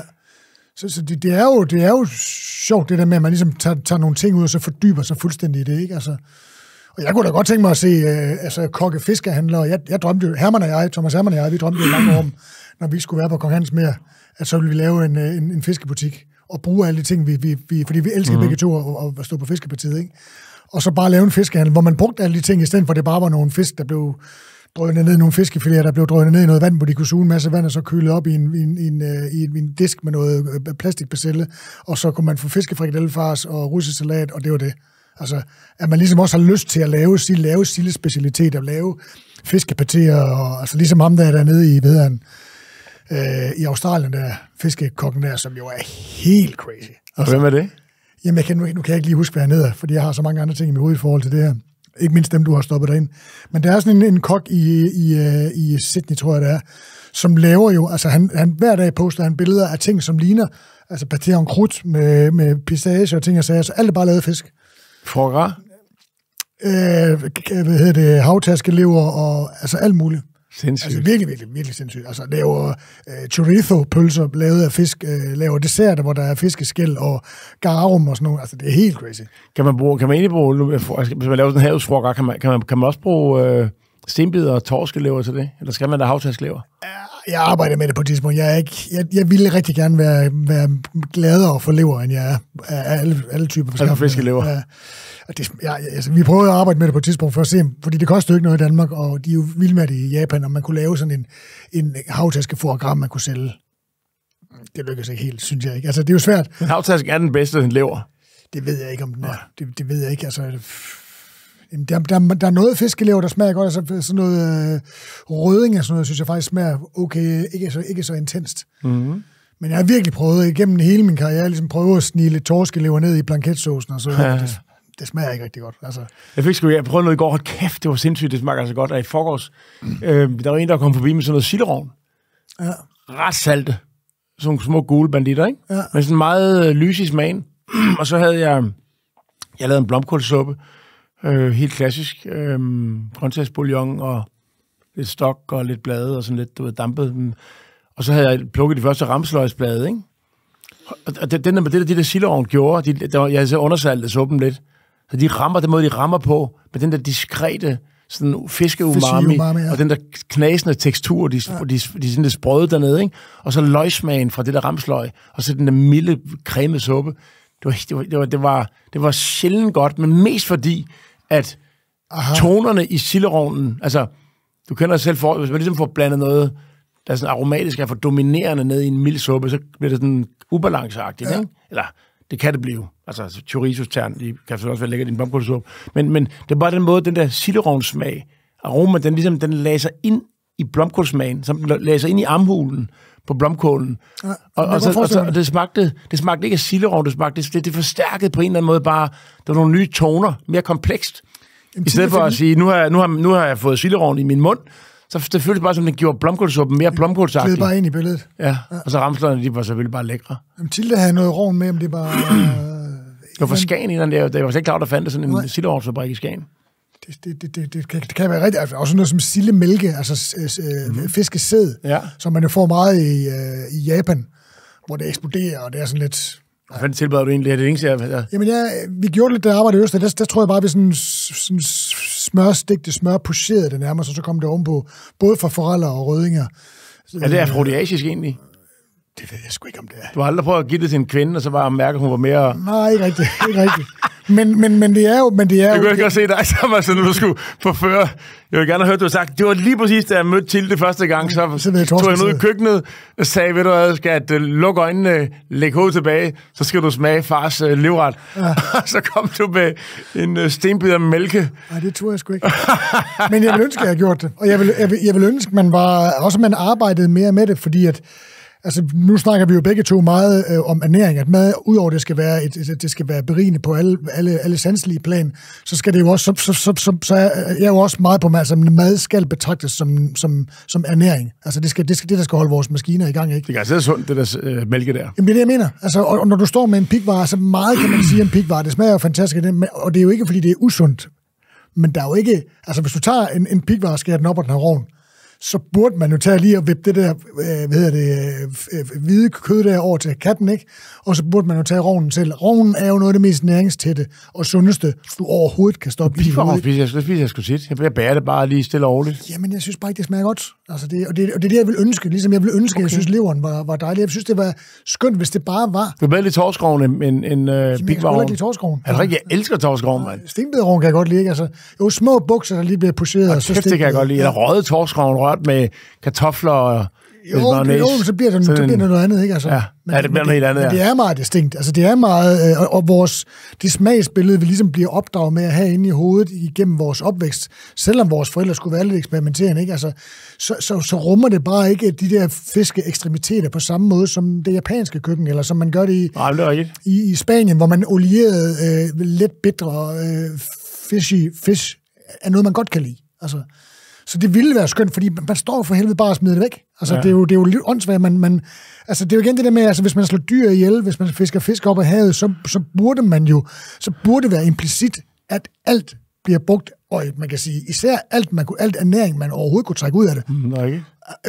Burde simpelthen være, være, være tvang, at det skal på en eller anden måde, og man så blander det i Nutella, eller hvad helvede man gør ved det, så skal det, altså det ernæring, man, man, man høster ud af vores allesammens eller i virkeligheden ingens ressourcer, man kan sige havet og alt det der. Ikke? Altså, det burde man jo få mest muligt ud af, for at spare mest muligt på det. Altså, det er sindssygt vigtigt at fiskesovs i Danmark, når vi fanger så mange fisk og har så meget fiskeaffald. Ikke? Det er sindssygt. Altså, jeg, fiskesovs synes jeg er jo totalt undervurderet. Altså, ja, det, jeg, jeg, bruger det ligesom, jeg bruger soja faktisk. Altså, nogle gange, hvis man ligesom har, du ved, bare lidt kålrester og sådan lidt op på panden, og så lige deklasere med det fiskesovs og en klipspidsfuld sukker, og så op med nogle, nogle stegte ris eller sådan noget. Ikke? Altså, ja. den, den, den, den, kombination af fiskesovs og det sukker, synes jeg kan bare... Kan du snart fuck ud af det her studie? Jeg er simpelthen så sulten. jeg har fået tre tørrede pølser til morgenmad, og du vil snakke om kanelere, og det, det er frygteligt. Altså. Claus, du er jo selv restauratør, øh, og står bag nogle forskellige øh, ting, som vi jo ikke engang er nået ind og snakke om. Vi er jo ikke nået halvdelen af de ting, vi skulle snakke om. Men en ting, jeg godt kunne tænke mig at snakke om, inden vi lige skal runde af, det skal vi nemlig også på et eller andet tidspunkt. Der går lidt endnu. Øh, men du er selv restauratør og står for, for, formentlig hver dag over for de problemer, manglen på kvalificeret personale i dagens Danmark er nu 2022 skaber. Kan vi snakke lidt om det, ikke mindst i forhold til den fortvivlede situation, branchen står i PT? Altså masser af gæster, der er vilde med at komme ud og spise. Altså, ja vilde med at komme ud og spise. De har formuer til at tage ud og spise for. De tager ud og spise uh, meget, meget ofte. Men der er ikke noget personal til. Der er ingen kokke, der er ingen tjener. Er der, har du fået med, at der er blevet lavet en koncentrationslejr, hvor man har sendt alle kokker og tjenere hen, eller 200-300.000 af dem, og så slået dem ihjel? Hvor er de hen? Altså, mm, jeg, jeg tror ikke, jeg kan komme med noget, der er fuldstændig epokgørende. Min egen oplevelse af situationen er, at øh, under pandemien øh, var der en del øh, udenlandske kokke, som var i Danmark, arbejdede på restauranter, som øh, valgte at tage tilbage til deres familie og være sammen med dem, øh, mens det kunne nås, og mens man kunne rejse. Øh, samtidig så tror jeg, at øh, der er en del kokke, som mens restauranterne var lukkede, fandt ud af, at, øh, at det var dejligt at kunne tilbringe mere tid med sin familie, have nogle aftener sammen. Øh, man kom måske lidt ned i stressniveau i forhold til at stå på en eller anden hektisk, øh, ambitiøs øh, à la carte restaurant. Så jeg tror også, at der var nogen fra, fra altså danskere fra, fra faget, som valgte at øh, finde andre men det, måder men det er der, eller steder. været. der har jo hele tiden været for, øh, kokke, der har fået børn og skulle... Øh, Jamen, jeg tror bare, det, det der, der var... Altså, at 90 procent af alle kokke i Danmark var sendt hjem i, i 6 måneder. Det tror jeg bare gav nogen kokke af de 90, altså mange flere end, end det normalt foregår. Så var der nogen af altså, et relativt... Når nu alle ligesom bare oplever samtidig, at man kan have et liv uden for en restaurant, og man kan, man kan vågne og gå i seng med sin kæreste, og fandt altså, at der er forskellen på at være presset kok, og så bare være et almindeligt menneske, der bare ligesom har fri. Ja. Jeg tror, det, kan lave god mad til sig selv. Ja, så, så jeg tror bare, det at folk, og så talte de måske også med andre mennesker uden for branchen, og fandt ud af, at man måske også kunne bruge sine færdigheder på noget andet. Andre brancher mangler også folk. Så, så Jamen, så, så, så men, men sige, så, og så det tredje, det er jo så, at, at øh, det der opsparede behov for at gå ud og spise, altså jeg tror folk, de har længtes efter at gå på restauranter, så jeg tror, kombinationen af en ekstrem efterspørgsel, og at øh, de folk, der arbejder i branchen, ligesom nogle af dem er søgt lidt væk. Jeg kan ikke komme med nogen bedre forklaring. Det, der så er mega, mega, mega trist, det er, at øh, Siri, altså Integrationsstyrelsen øh, øh for arbejdsmarkedsforhold og fremmed arbejdskraft, ikke? at de er så... Altså, jeg fatter slet ikke, hvorfor man ikke kan finde ud af at komme op i tempo. Øhm, jeg har konkret en kok fra min amerikanske restaurant, Aaron, som har en dansk kæreste, Signe. Den skønneste mand, hun er den skønneste kvinde. Og han har nu ventet 16 måneder på at få, vi har søgt både på beløbsordningen og positivlisten, og, og der er gået restauranten 16 måneder, skriger. og vi kunne have du ved, givet ham fem jobs. Ja. Øhm, og jeg gider næsten ikke... Altså, at den oplevelse med Tristan gør, at øh, jeg næsten ikke orker at sætte nogle andre processer i gang, fordi jeg tænker, hvis det skal, skal ligesom få et andet menneske til at tro på, at det bliver til noget, og der går ni måneder, og vi måske har fundet en anden løsning i mellemtiden. Så det, det, det er bare utroligt deprimerende, øh, at man ikke... Og det må også være en dårlig forretning for Danmark. Tænk på, hvor meget moms og, og, og, og bruttonationalproduktet og skat, der kunne være blevet genereret, hvis det var... Yes, altså på flere af mine restauranter siger vi jo nej til folk. Og ja, det er på mange restauranter. Så, så måske en tredjedel af alle restauranter i København, der siger vi nej til folk i dag. Så det, du siger, det er jo rent pisse dårlig forretning. som jeg lige hørte mellem linjerne, er det den øh, fremmede fjendskhed, øh, eller, eller angst for, at der skal komme fremmede til, øh, som vi vil have, der ligesom er, er som de regler, vi satte op for en to-tre år siden, med folk, Det der kunne, man, det kunne være fristende. og- Altså, det, det, det er klart, den, den, den følelse kunne man jo meget, meget nemt få. Øhm, men når kokke så samtidig jo de facto er kommet på positivlisten, hvilket betyder, at selvom du kommer fra lande uden for EU, kan du i princippet komme til Danmark og arbejde. Og det, og, og, og det burde kun, siger de, tage fire uger at få øh, processen gennemført. Så tager det sig i, i, i praksis øh, for mange, åbenbart, rigtig, rigtig meget mere end fire uger. Øhm, sådan, så når kokken er på positivlisten, selvom det var lidt svært at få dem derhen, eller det tog det tid at komme derhen, så er der en anerkendelse af, at øhm, selvom vi ikke er så glade for, at der kommer for mange folk til Danmark, med en fremmed hudfarve eller religion, så øhm, må der gerne komme kokke, fordi krisen, branchen er i knæ, og i hvert fald indtil kokkene kommer, øh, bliver øh, taget væk fra positivlisten, så må man komme op. Men der er ligesom bare ikke mennesker nok til synlædende til at behandle ansøgningerne. Så så er det, jeg siger, hvorfor finder man ikke 10 mennesker, som er flyttet over til Siri, så de kan komme i bund med de her bunker, så branchen kan komme op og køre. Øh, Jamen, bræng, det, men de problemer er alle steder. Når du skal til, at du er i gang med jagttegn, det kan vi ikke engang nå at snakke om, det er jo frygteligt, men altså, når du skal ind og til at have dit, øh, dit, dit, dit riffel, øh, våbentilladelse og sådan ting, så, sager, så vil du vente, så vil du, så vil du se andre sider af det offentlige system, som i den grad også mangler bemanding. Øh, det tager jo fucking to måneder at få en tilladelse til at, at købe sådan en riffel. Altså, det er jo skrækkeligt. Så, men endnu mere skrækkeligt. Øh, det var et lille, et lille first world problem. Men det er ikke et first world problem, at vi har en branche, som bløder, og som har nogle slunkne kasser, der skal fyldes op, og der står masser af velvillige gæster til at smide, til at fylde dem op, men vi kan simpelthen ikke få noget arbejdskraft til at gøre dem. Altså, der er så et andet problem, Thomas, jo, ikke? og det er jo, at øhm, og det er, lidt, det er lidt sværere at gå til, ikke? Øhm, for det er jo, altså jeg tror, når, når, når, når der er sådan helt fundamentalt er den her ubalance, så skyldes det også, at vi er landet et sted, hvor øh, kokke øh, for, for, altså generelt for kokke for lidt i løn i forhold til, hvor, hvor meget man egentlig øh, påskynder det, man kan købe for penge, som de har lavet med deres hænder. Ja. Øhm, og ikke bare for, at de får lidt i løn, de arbejder også på, altså de får, de får så særlig meget for lidt i løn i forhold til, hvor uhensigtsmæssige tidspunkter man arbejder på, og hvor forholdsvis stressende det kan være, når der er nogen, der er blevet syge, eller varen, der ikke er kommet, og man ligesom skal... Altså, det er bare ikke ligesom at, at være, hvad at arbejde i Siri, for der kan man jo åbenbart ligesom gå hjem klokken ja. tre, når man har noget, det man kunne nå. Når der står tre på vagtplanen, så er det tre, man går hjem, ikke? Ja. Og det er det jo ikke på en restaurant. Der er det bare, der er det bare du ved, der er kamp to gange om dagen, der er det Champions League. Ja. Øhm, og det er afgørende for restaurantens liv og død, og din egen karriere og renommé. Øhm, og det er selvfølgelig mega stressende. Så, så fortsætter, og så, er det, og så, er der, så har vi så hørt og læst, at der er øh, også i restaurationsbranchen, og måske endda mere end andre steder, et problem med, hvordan man taler til kvinder især, men også hvordan chefer taler til folk, der ikke er chefer. Øhm, måske på grund af arbejdspresset, men måske også fordi, at folk ikke har så lange uddannelser og ikke har lært så meget om ledelse. Måske så du har altså, det hele. Mås- hvad siger du? Måske lidt af det hele. Måske lidt af det hele. Så du har altså en, en, en ikke så fantastisk kultur en del steder, kombineret med lidt voldsomme arbejdstider, øh, lidt stressende øh, omstændigheder, og så en løn lidt i den lave side. Øh, så, så, så det er jo selvfølgelig et kæmpe problem, som man ikke lige kan fikse overnight. Øh, hvis alle restauranterne var i stand til samtidig at sætte prisen op med 10 procent, øh, så det blev lidt dyrere at gå ud og spise. Måske kom det til at koste det, det burde koste. Vil 10 procent gøre det? Jeg har ikke lavet regnestykket, men, men man, vil, man vil komme langt. Det vil man godt nok. Der var, ja, der var en eller anden af kokkene, jeg snakkede med forleden, som ligesom, som, hvorfor, det tror jeg faktisk, det var Mikkel Morbjerg. Altså for eksempel, hvis man prøvede at lave en restaurant, eller prøvede at lave et setup, hvor man ligesom prøvede at regne ud, hvad vil det i virkeligheden koste? Altså, hvad vil skulle det i virkeligheden koste at gå ud og spise, når, når bruttoavancer er lavet, og lønninger, og folk får deres, øh, alt hvad de skal have af tillæg, og ancienitet, og pension, og alt det der, og har en arbejdsuge på 37,5 time. Det vil sige, så skal man jo have to eller tre hold, der skal gå ind og dække en restaurant, der er åben. Jamen, det kan sagtens være, det er 20 procent eller 25 procent. Men det er, det er meget interessant uh, regnskaber på at lave, ikke? Og så... Ja, men, men, det, det, er jo, men det, der altså, er enerverende, der er jo at tænke på, hvordan får man det så til at ske? Hvem skal gå først? Ja.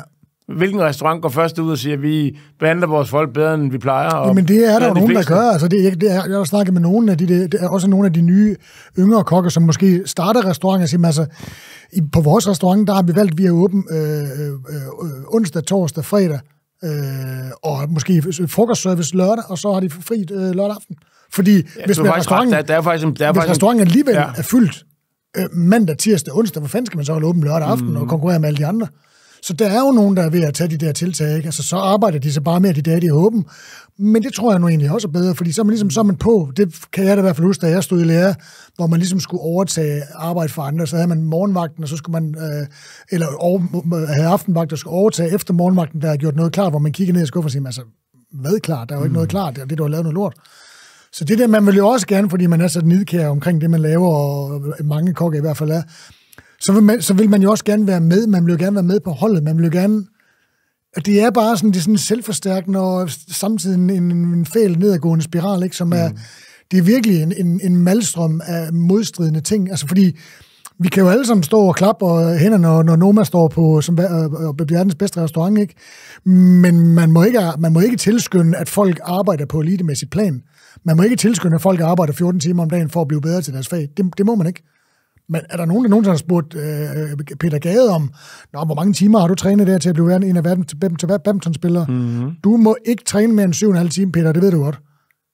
Så, så der er jo også nødt til at være den der... Ja, der er mange modstridende ting. Der er virkelig mange, fordi du kan ikke blive, du kan ikke blive elite Nej. til noget som helst, hvis du ikke får lov til at bruge dine 10.000 timer på at, og bare og, og, og, og komme ind på, på nederste hylde, mm. og så skal du så bruge yderligere 30.000 på at komme op og blive altså, verdens bedste, ikke? Mm, det er rigtigt det, det, er, det er virkelig, virkelig svært, når vi også skal huske, at der skal være øh, øh, øh 11 timers regel og øh, 7,5 timers arbejde, der skal være pause, vi skal sætte os ned, der skal være to måltider mad, og vi skal kunne snakke sammen, og der skal, der, folk må ikke blive for stresset. Der, Det er, og jeg siger ikke, det er en af den for jeg, jeg, jeg bruger virkelig meget tid til at spekulere. Hvordan, fanden, øh, hvordan gør vi det her? Og der, der, der er der ikke nogen chef, der skal stå, ligesom jeg gjorde, da jeg var øh, 27 år gammel, øh, og kommer lige fra 10. klasse, med min 10. klasses eksamen, og lige pludselig er man direktør for en af landets bedste restauranter. Der, skal der ikke stå nogen og gale, ligesom jeg gjorde dengang, og råbte og skreg. Altså selvfølgelig skal der ikke det. Men, men på den anden side skal der også være et moment og et miljø, der, der, der ligesom er med til at udvikle eliten. Så mm. nu har jeg stået i lærer det her sted. Jeg kunne godt tænke mig bare at, være, at gå all in på at blive den aller, allerbedste, der er. Så må jeg over på den her restaurant. På den her restaurant arbejder man 14 timer, fordi man har et ambitionsniveau, der ligger Jeg har ikke løsning på det. Det, det, det, er, meget, meget, det er meget, meget svært. Men du har fuldstændig ret, jo. Der er jo faktisk en del restauranter, som, som arbejder med at finde nogle andre balancer. Ja. Det kan være, at det ligesom langsomt bespreder sig. Det jeg er bare jeg. bange på, at det kommer til at tage noget tid, før man ligesom kommer hele vejen rundt, ikke? Ja, eller hvis restauranterne skal, skal have to hold, altså, mm. så man ligesom kan dække en uge, ikke? Og det kan jo også være, at man kommer frem til sådan nogle amerikanertilstande, hvor der er øh, mexikanerne, der kommer om morgenen og får her kan man bare ikke underbetale folk for at, at, at stå og gøre klar. Nej, øh, øh, og så kommer linechefen og kommer og snitter klokken 12. Så på en eller anden måde må priserne også op? Jamen, det synes jeg, det er, et udmærket tidspunkt, eller steder at sætte ind på. Det, det, er, det er den der kæmpe efterspørgsel. Konsekvent, men så er der jo ikke nogen, der må ligge og underbyde. Jamen, det er det. Ja. Det er det, der er svært at styre, ikke? For det ville virkelig kunne løse meget øh, hvis der var, at der var lidt flere penge. For det er jo ikke sådan, at restauranterne bare skovler profitter hjem. Det er der nogen, der gør. Og, og, er der ikke mange? Nej, og, og det synes jeg, der er, er super okay. Man, altså, at, jeg, jeg har kun stor respekt for dem, øh, der gør det, altså tjener nogle gode Hvis det nu var, at det var en sindssygt profitabel branche, ikke, så var ja. det jo nemmere at, øh, at løse problemerne. Så jeg tror, man, man er nødt til for, for, for at skabe de mere harmoniske øh, arbejdsforhold i branchen, så er, man, så er man nødt til på en eller anden måde at få løftet priserne på maden. Altså, der, det er jo Altså, det, er også, det, det, det, er jo bare billigt at gå ud og spise god mad, Thomas. Altså, hvis du går ned i Kødbyen sådan en fredag aften, eller bare gå ned på gå ned, ned Vesterbrogade, der sidder jo 10.000 unge mennesker på 21, øh, og, og betaler, du har, har easy going. De kan sagtens betale for noget mad der, ikke? Øh, så, så den der... Så, Vel, på, altså, med Hellerup, og så kigge ind på, hvad hedder det, øh, hvad hedder det sushien der, hvad hedder den... Øh, Ja, sushi-restauranterne, ikke? Ja. Stik sushi, ikke? Altså, det, det, er jo, det, er jo godt, og det, og det, og det er ikke... Der er ikke meget, der tyder på, at, øh, at vi er ved at prises ud af markedet. Nej, det er der ikke. det er der faktisk ikke. Det var, øh, med, det var, sgu, det var meget sjovt lige at vende den, øh, den der problematik. Det er simpelthen lidt frustrerende, at man ikke ligesom kan løse det rigtigt. Sådan. Skal vi lige have et, øh, et par af de populistiske spørgsmål også? Altså, du ja. har jo været inde i alt det, alt det profane, alt det, alt det globale. Der er også mange ting, vi ikke har nået at snakke om, men lad os nu øh, lige tage et par af de øh, se- og hør spørgsmål. Du har været rejst verden rundt og utvivlsomt indtaget såvel super, super skumle måltider, men også de mest fantastiske. Hvilke i begge kategorier har gjort det største indtryk på dig? hvis du, hvis du, hvis du lad, os, lad os da bare lige starte med den, den, mest, den, mest, den mest grusomme øh, som, som, jeg, som jeg har i frisk erindring, fordi det var sidste år, hvor jeg var på, øh, jeg var i, i Apulien sammen med nogle gode venner, og så ender vi på en restaurant, Øh, og du, du, du ved, når man, når, man har, når man godt kan lide mad, så er man ret omhyggelig med, når man er fremmede steder, at finde det bedste sted, eller ja. et af de bedste steder. Ikke? Så det er meget, meget sjældent. Jeg spiser et måltid mad, jeg ikke bliver glad for, når jeg er ude. Men her, fik, her var jeg virkelig gået en fælde. Og det var faktisk ikke helt min skyld, fordi min gode ven Kenneth Bager, DJ'en, ja. han stod den dag for restaurant booking, og, og han har så spurgt sin, sin svoger, Michael Bertelsen, til råds. Og Michael Bertelsen havde været på en fuldstændig himmelsk restaurant, han har god smag, der hedder noget med atatter. Øhm, og så Kenneth, han, altså, han går ikke så meget op i mad, og han er ikke bange for freestyle. Så havde han fundet en restaurant, der næsten hed det samme. og så tænkte jeg, det må sgu da være den samme projekt, siger han så ikke. Den hed nok, der er en lille forskel på navnet, men who fucking cares, tænker det lå tættere på. Ja. Jeg tænkte, okay, det er Michael Bertelsens anbefaling. At terror, det lyder sådan lidt med noget terroir, så vi tog derhen. Der var ingen mennesker i restauranten klokken syv. Så kommer en kvinde ind med laksko, hun skulle foregive at være kokken. Ude i køkkenet, der var, der var ingen, der stod helt sprængt, der skete ikke en skid. Og så stod der på vinduet, der stod, at deres koncept var Christmas all year round. Og så var der kommet ind, så var der, der, der kørte sådan nogle juletog rundt i loftet, og der sad sådan nogle julebamser. Og, og, I tænkte, Apulien? I Apulien, en, varm, en, en, sådan en varm efterårsdag. Jeg tænkte, jeg skulle lidt kritisk, den kunne ingen mennesker, ingen kokke i køkkenet, en kvinde, der kommer ind, som, som ikke ligner en, der ligesom har stået og bak, bakket op hele dagen, skal ligesom ud og lave mad til os nu. Hun er, hun er, vi er kommet før hun er kommet. Puh. Og så fik vi bare, altså, altså det var, det var den, den, den mellemret, det vi fik en mellemret, det var 14 dage gamle øh, grovkroissanter, øh, som ikke engang var varmet, som havde ligget, hun havde taget ud sådan en pose, og så den fyldt med grillet peberfrugt og drysset med sukker. så, kunne, altså, det var, det var, det var ligesom... Det var, og så fik vi... Altså, der, vi fik en, en, en, en, jeg tror, det var en, en øhm, um, primiberti, som... Det smagte som, hvis du... Det skulle foregive en eller anden form for risotto. Men det smagte som havregrød, der stod ude i tre dage, blendet med vand og harsk fedt. Og så var der lagt hele drogklasse op i med stilk på. Så forestil dig forestille en gang, det smagte besk, bittert af gammel fedt, og, og, og, og en dybde som våd havregrød. Og så var der lagt en fucking drogklasse med stilk. Gamle, klamme droger, med bare oveni. Så var sådan noget, det skulle også ligne at være en ret. Og det, det kan jeg ikke huske resten, det var på det niveau. Ikke? Det var, det var, det var, vi græd af en blanding af smerte og absurditet og også en, en, en, en lille bitte lykkefølelse, fordi vi vidste, at det måltid ville vi bare huske resten af vores dage. Ja. Det var så elendigt, der kom ikke andre gæster. Øhm, jamen, det var, det var surrealt, ikke? Jeg, jeg var ikke klar jeg troede faktisk, jeg var, jeg var ikke jeg troede, der var sådan noget skjult kamera på et tidspunkt. Det var så langt ude. Og de holdt masken. Altså, de har givetvis snydt nogle folk gennem livet, de to der. Og, vi, og det skulle gå ud over mig. Det var for vildt. I den anden ende, øhm, så var jeg engang... Jeg, jeg, hvad, hvad, hvad, hvad fik Kent bag ud af det der? Jamen, han, han tog det, han tog det, han, jamen, han kunne godt se, at det var måske, han skulle måske lige, altså han har, han har stor tolerance for, for dårlig smag. og han glædes, men han glæder sig også nogle gange, når det smager godt. Han, altså, hans, hans fokus ligger på musikken jo, ikke? Han har samme forhold til toner og noget, som jeg har til, til, til maden. Men øhm, Jamen, jeg tror ikke, han var helt lykkelig over det, der, det, der, det han havde gamblet med vores... Øh, men, men det var faktisk også... Altså, Mentale helbred. Men det var også sjovt. Det var fandme... Altså, vi talte ja. jo om det. Det var det, vi talte mest om hele ugen, ikke? Og vi har lavet videoer dernede, og altså, det var, det, det var virkelig... Der var basic for storytelling.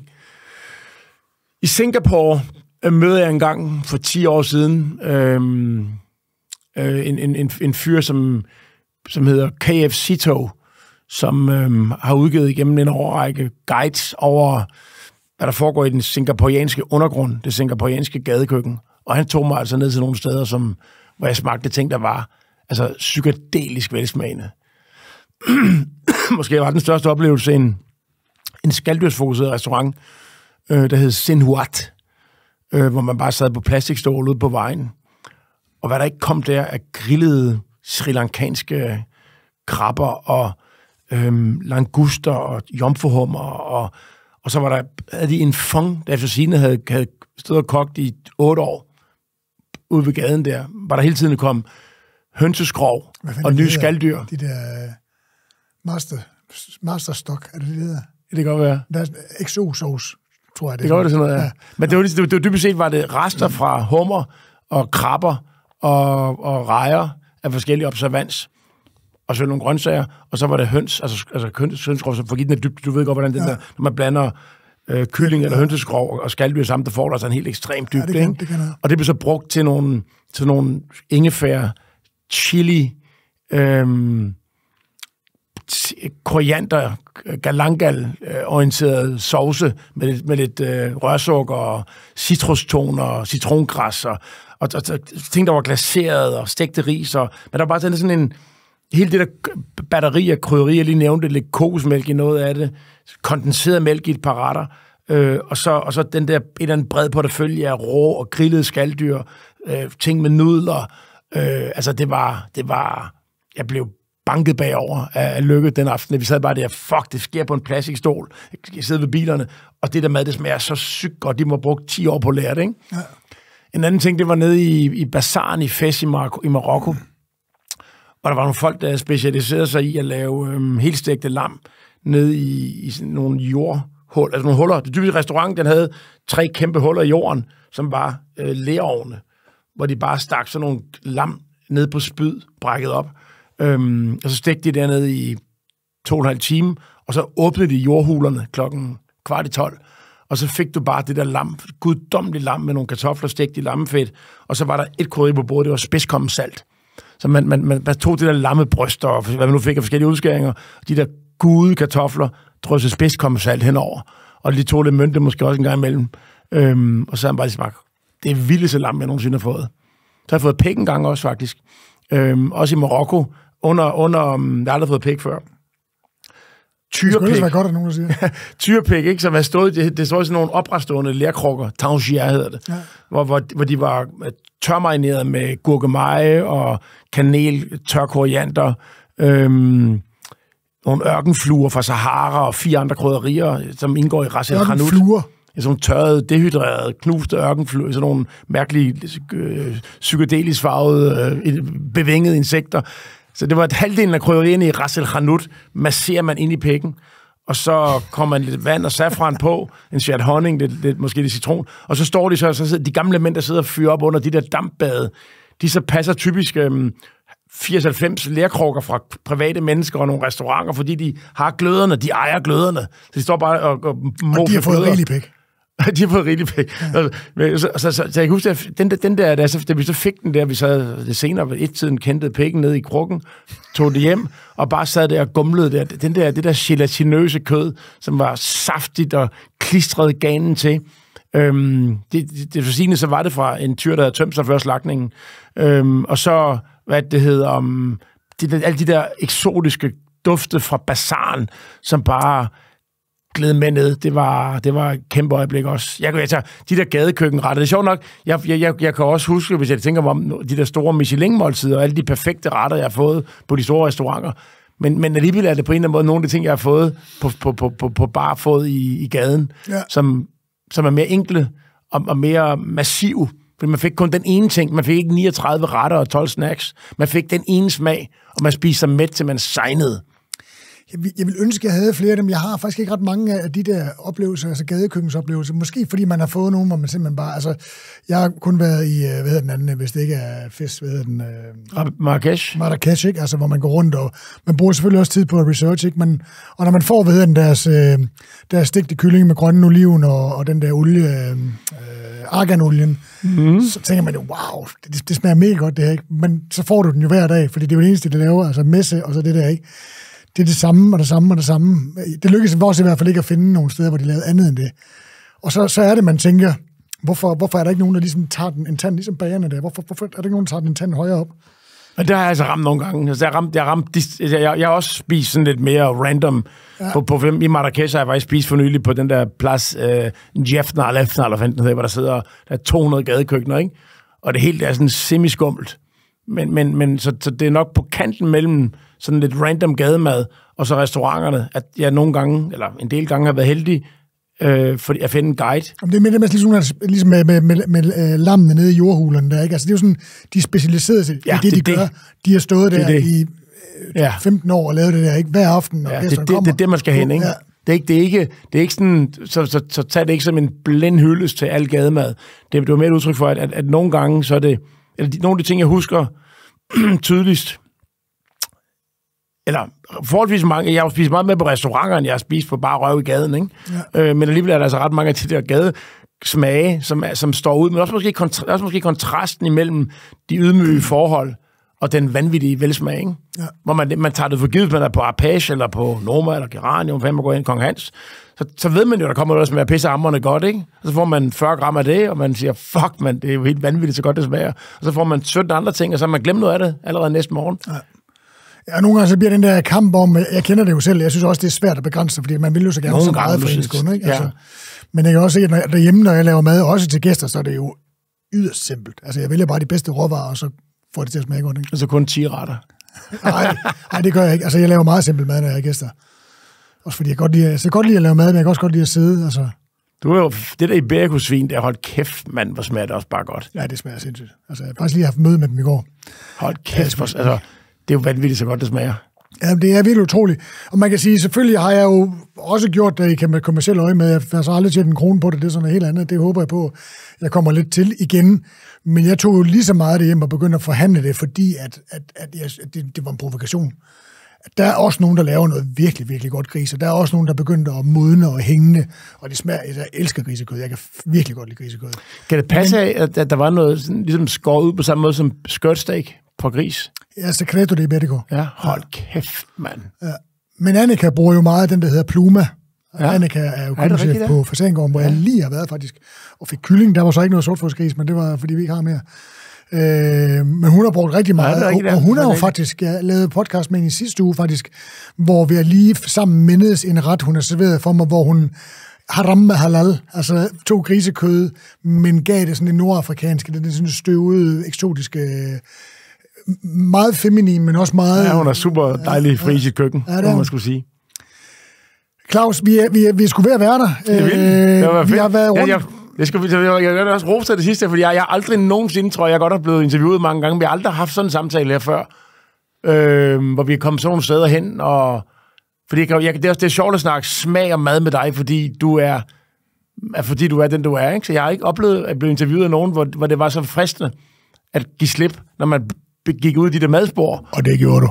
altså, det var, det var mega fedt. Men det er jo præmissen for programmet her. Ja. Øh, det tror jeg også, lytterne, der sidder derude, øh, er med på. Det er jo, at, at den samtale, det er også, det er også øh, i relation til, til programmets eller podcastets øh, titel, altså kok og kok imellem. Kokke kan jo tale om nogle andre på en anden måde om ting. Ja, det er rigtigt. Det, er, det, man det, det var meget specielt. Jeg tror aldrig, jeg måske aldrig, jeg tror aldrig blevet interviewet af en kok før. Spændende. Det er det. Jeg håber da ikke, det er sidste gang. Nej, det håber jeg heller Der er ikke. flere derude. Claus, du får lige den sidste, og du har jo været ind over den, men nu, nu plejer jeg at slutte af der, så selvfølgelig så kan du også have den. Øhm, hvad kunne du godt tænke dig at blive husket for, når du engang bliver kaldt hjem til det store køkken, hvor alle de afdøde kokke, både dem, der har svendebrev og dem, der ikke har, står og laver mad til alle engle, så de har kræfter og, og lyst og livsmod til at synge. Hvad kunne du godt tænke dig at blive husket for? Det er jo... Du har, jo- det, har, Ja. det har jo været meget i det, vi har talt om. Ikke? Altså, Ja. det, det, det, det, det er klart. Men det kan godt være, der var sådan en, en ting, du lige ville slå på trummen for til allersidst. Øhm, jeg tror, altså sådan lige... Jeg kunne godt tænke mig at blive husket for, um, at der givet... Hvis jeg at være en, der gav mange mennesker, gav, gav, gav nye muligheder til mange mennesker, det kunne være sådan et, et perspektiv. At der, der gav andre mennesker, ja, spilleglæde, glæde. Øhm, og så kunne jeg også godt tænke mig måske at blive husket for en, der, der ligesom forsøgte at, at, øh, at række en hånd, eller være noget for nogen, øh, ud over de allernærmeste. Øh, jeg synes, nogle gange i mit liv har jeg, har jeg gravet dybt og fundet nogle ressourcer, og forsøgt at, øh, at være en kilde til håb og fremgang, og umiddelbar glæde for nogen, jeg overhovedet ikke kendte. Øhm, og det har jeg haft det rigtig godt med. Altså, de gange, jeg har følt, haft en særlig arbejdsglæde, eller særlig, en særlig følelse i kroppen, når jeg gik i seng, når jeg har været derude i underverdenen, i Vridsløse Lille, eller i Brownsville i New York.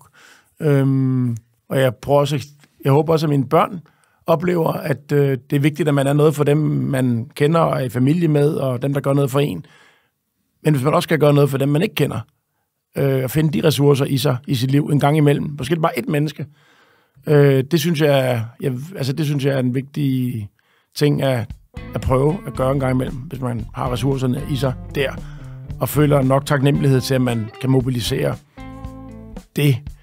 Så hvis det bliver husket, og kan være en kilde til inspiration for andre, så vil det også glæde mig. Og du, jeg kan jo egentlig runde den af, for du har sagt det jo selv tidligere, øh, da du kom hjem fra Frankrig, ligesom øh, var gennemgået den der transformation og sige, jeg vil gerne, altså det er jo kærlighed, det du sidder og siger der. Ja, det måske, ja. Claus, vi kunne sagtens blive ved et par timer mere, men øh, tænker, at lytterne har fået lidt at tænke over, og at vi heller må få rundt af, inden der opstår far for, at nogen begynder at bløde ud af ørerne. Således takker jeg såvel dig for at dele dit liv med mad øh, med lytterne og mig. Øh, og en kæmpe stor tak også til de trofaste lyttere, som gang efter gang bliver ved med at tune ind øh, på det her lille podcastprojekt. Tusind tak til dig, Claus. Tak, tusind tak til dig, Nico, derude. Og tusind tak til alle jer, der sidder derude og lytter med. Det var super fedt. Tak for nu.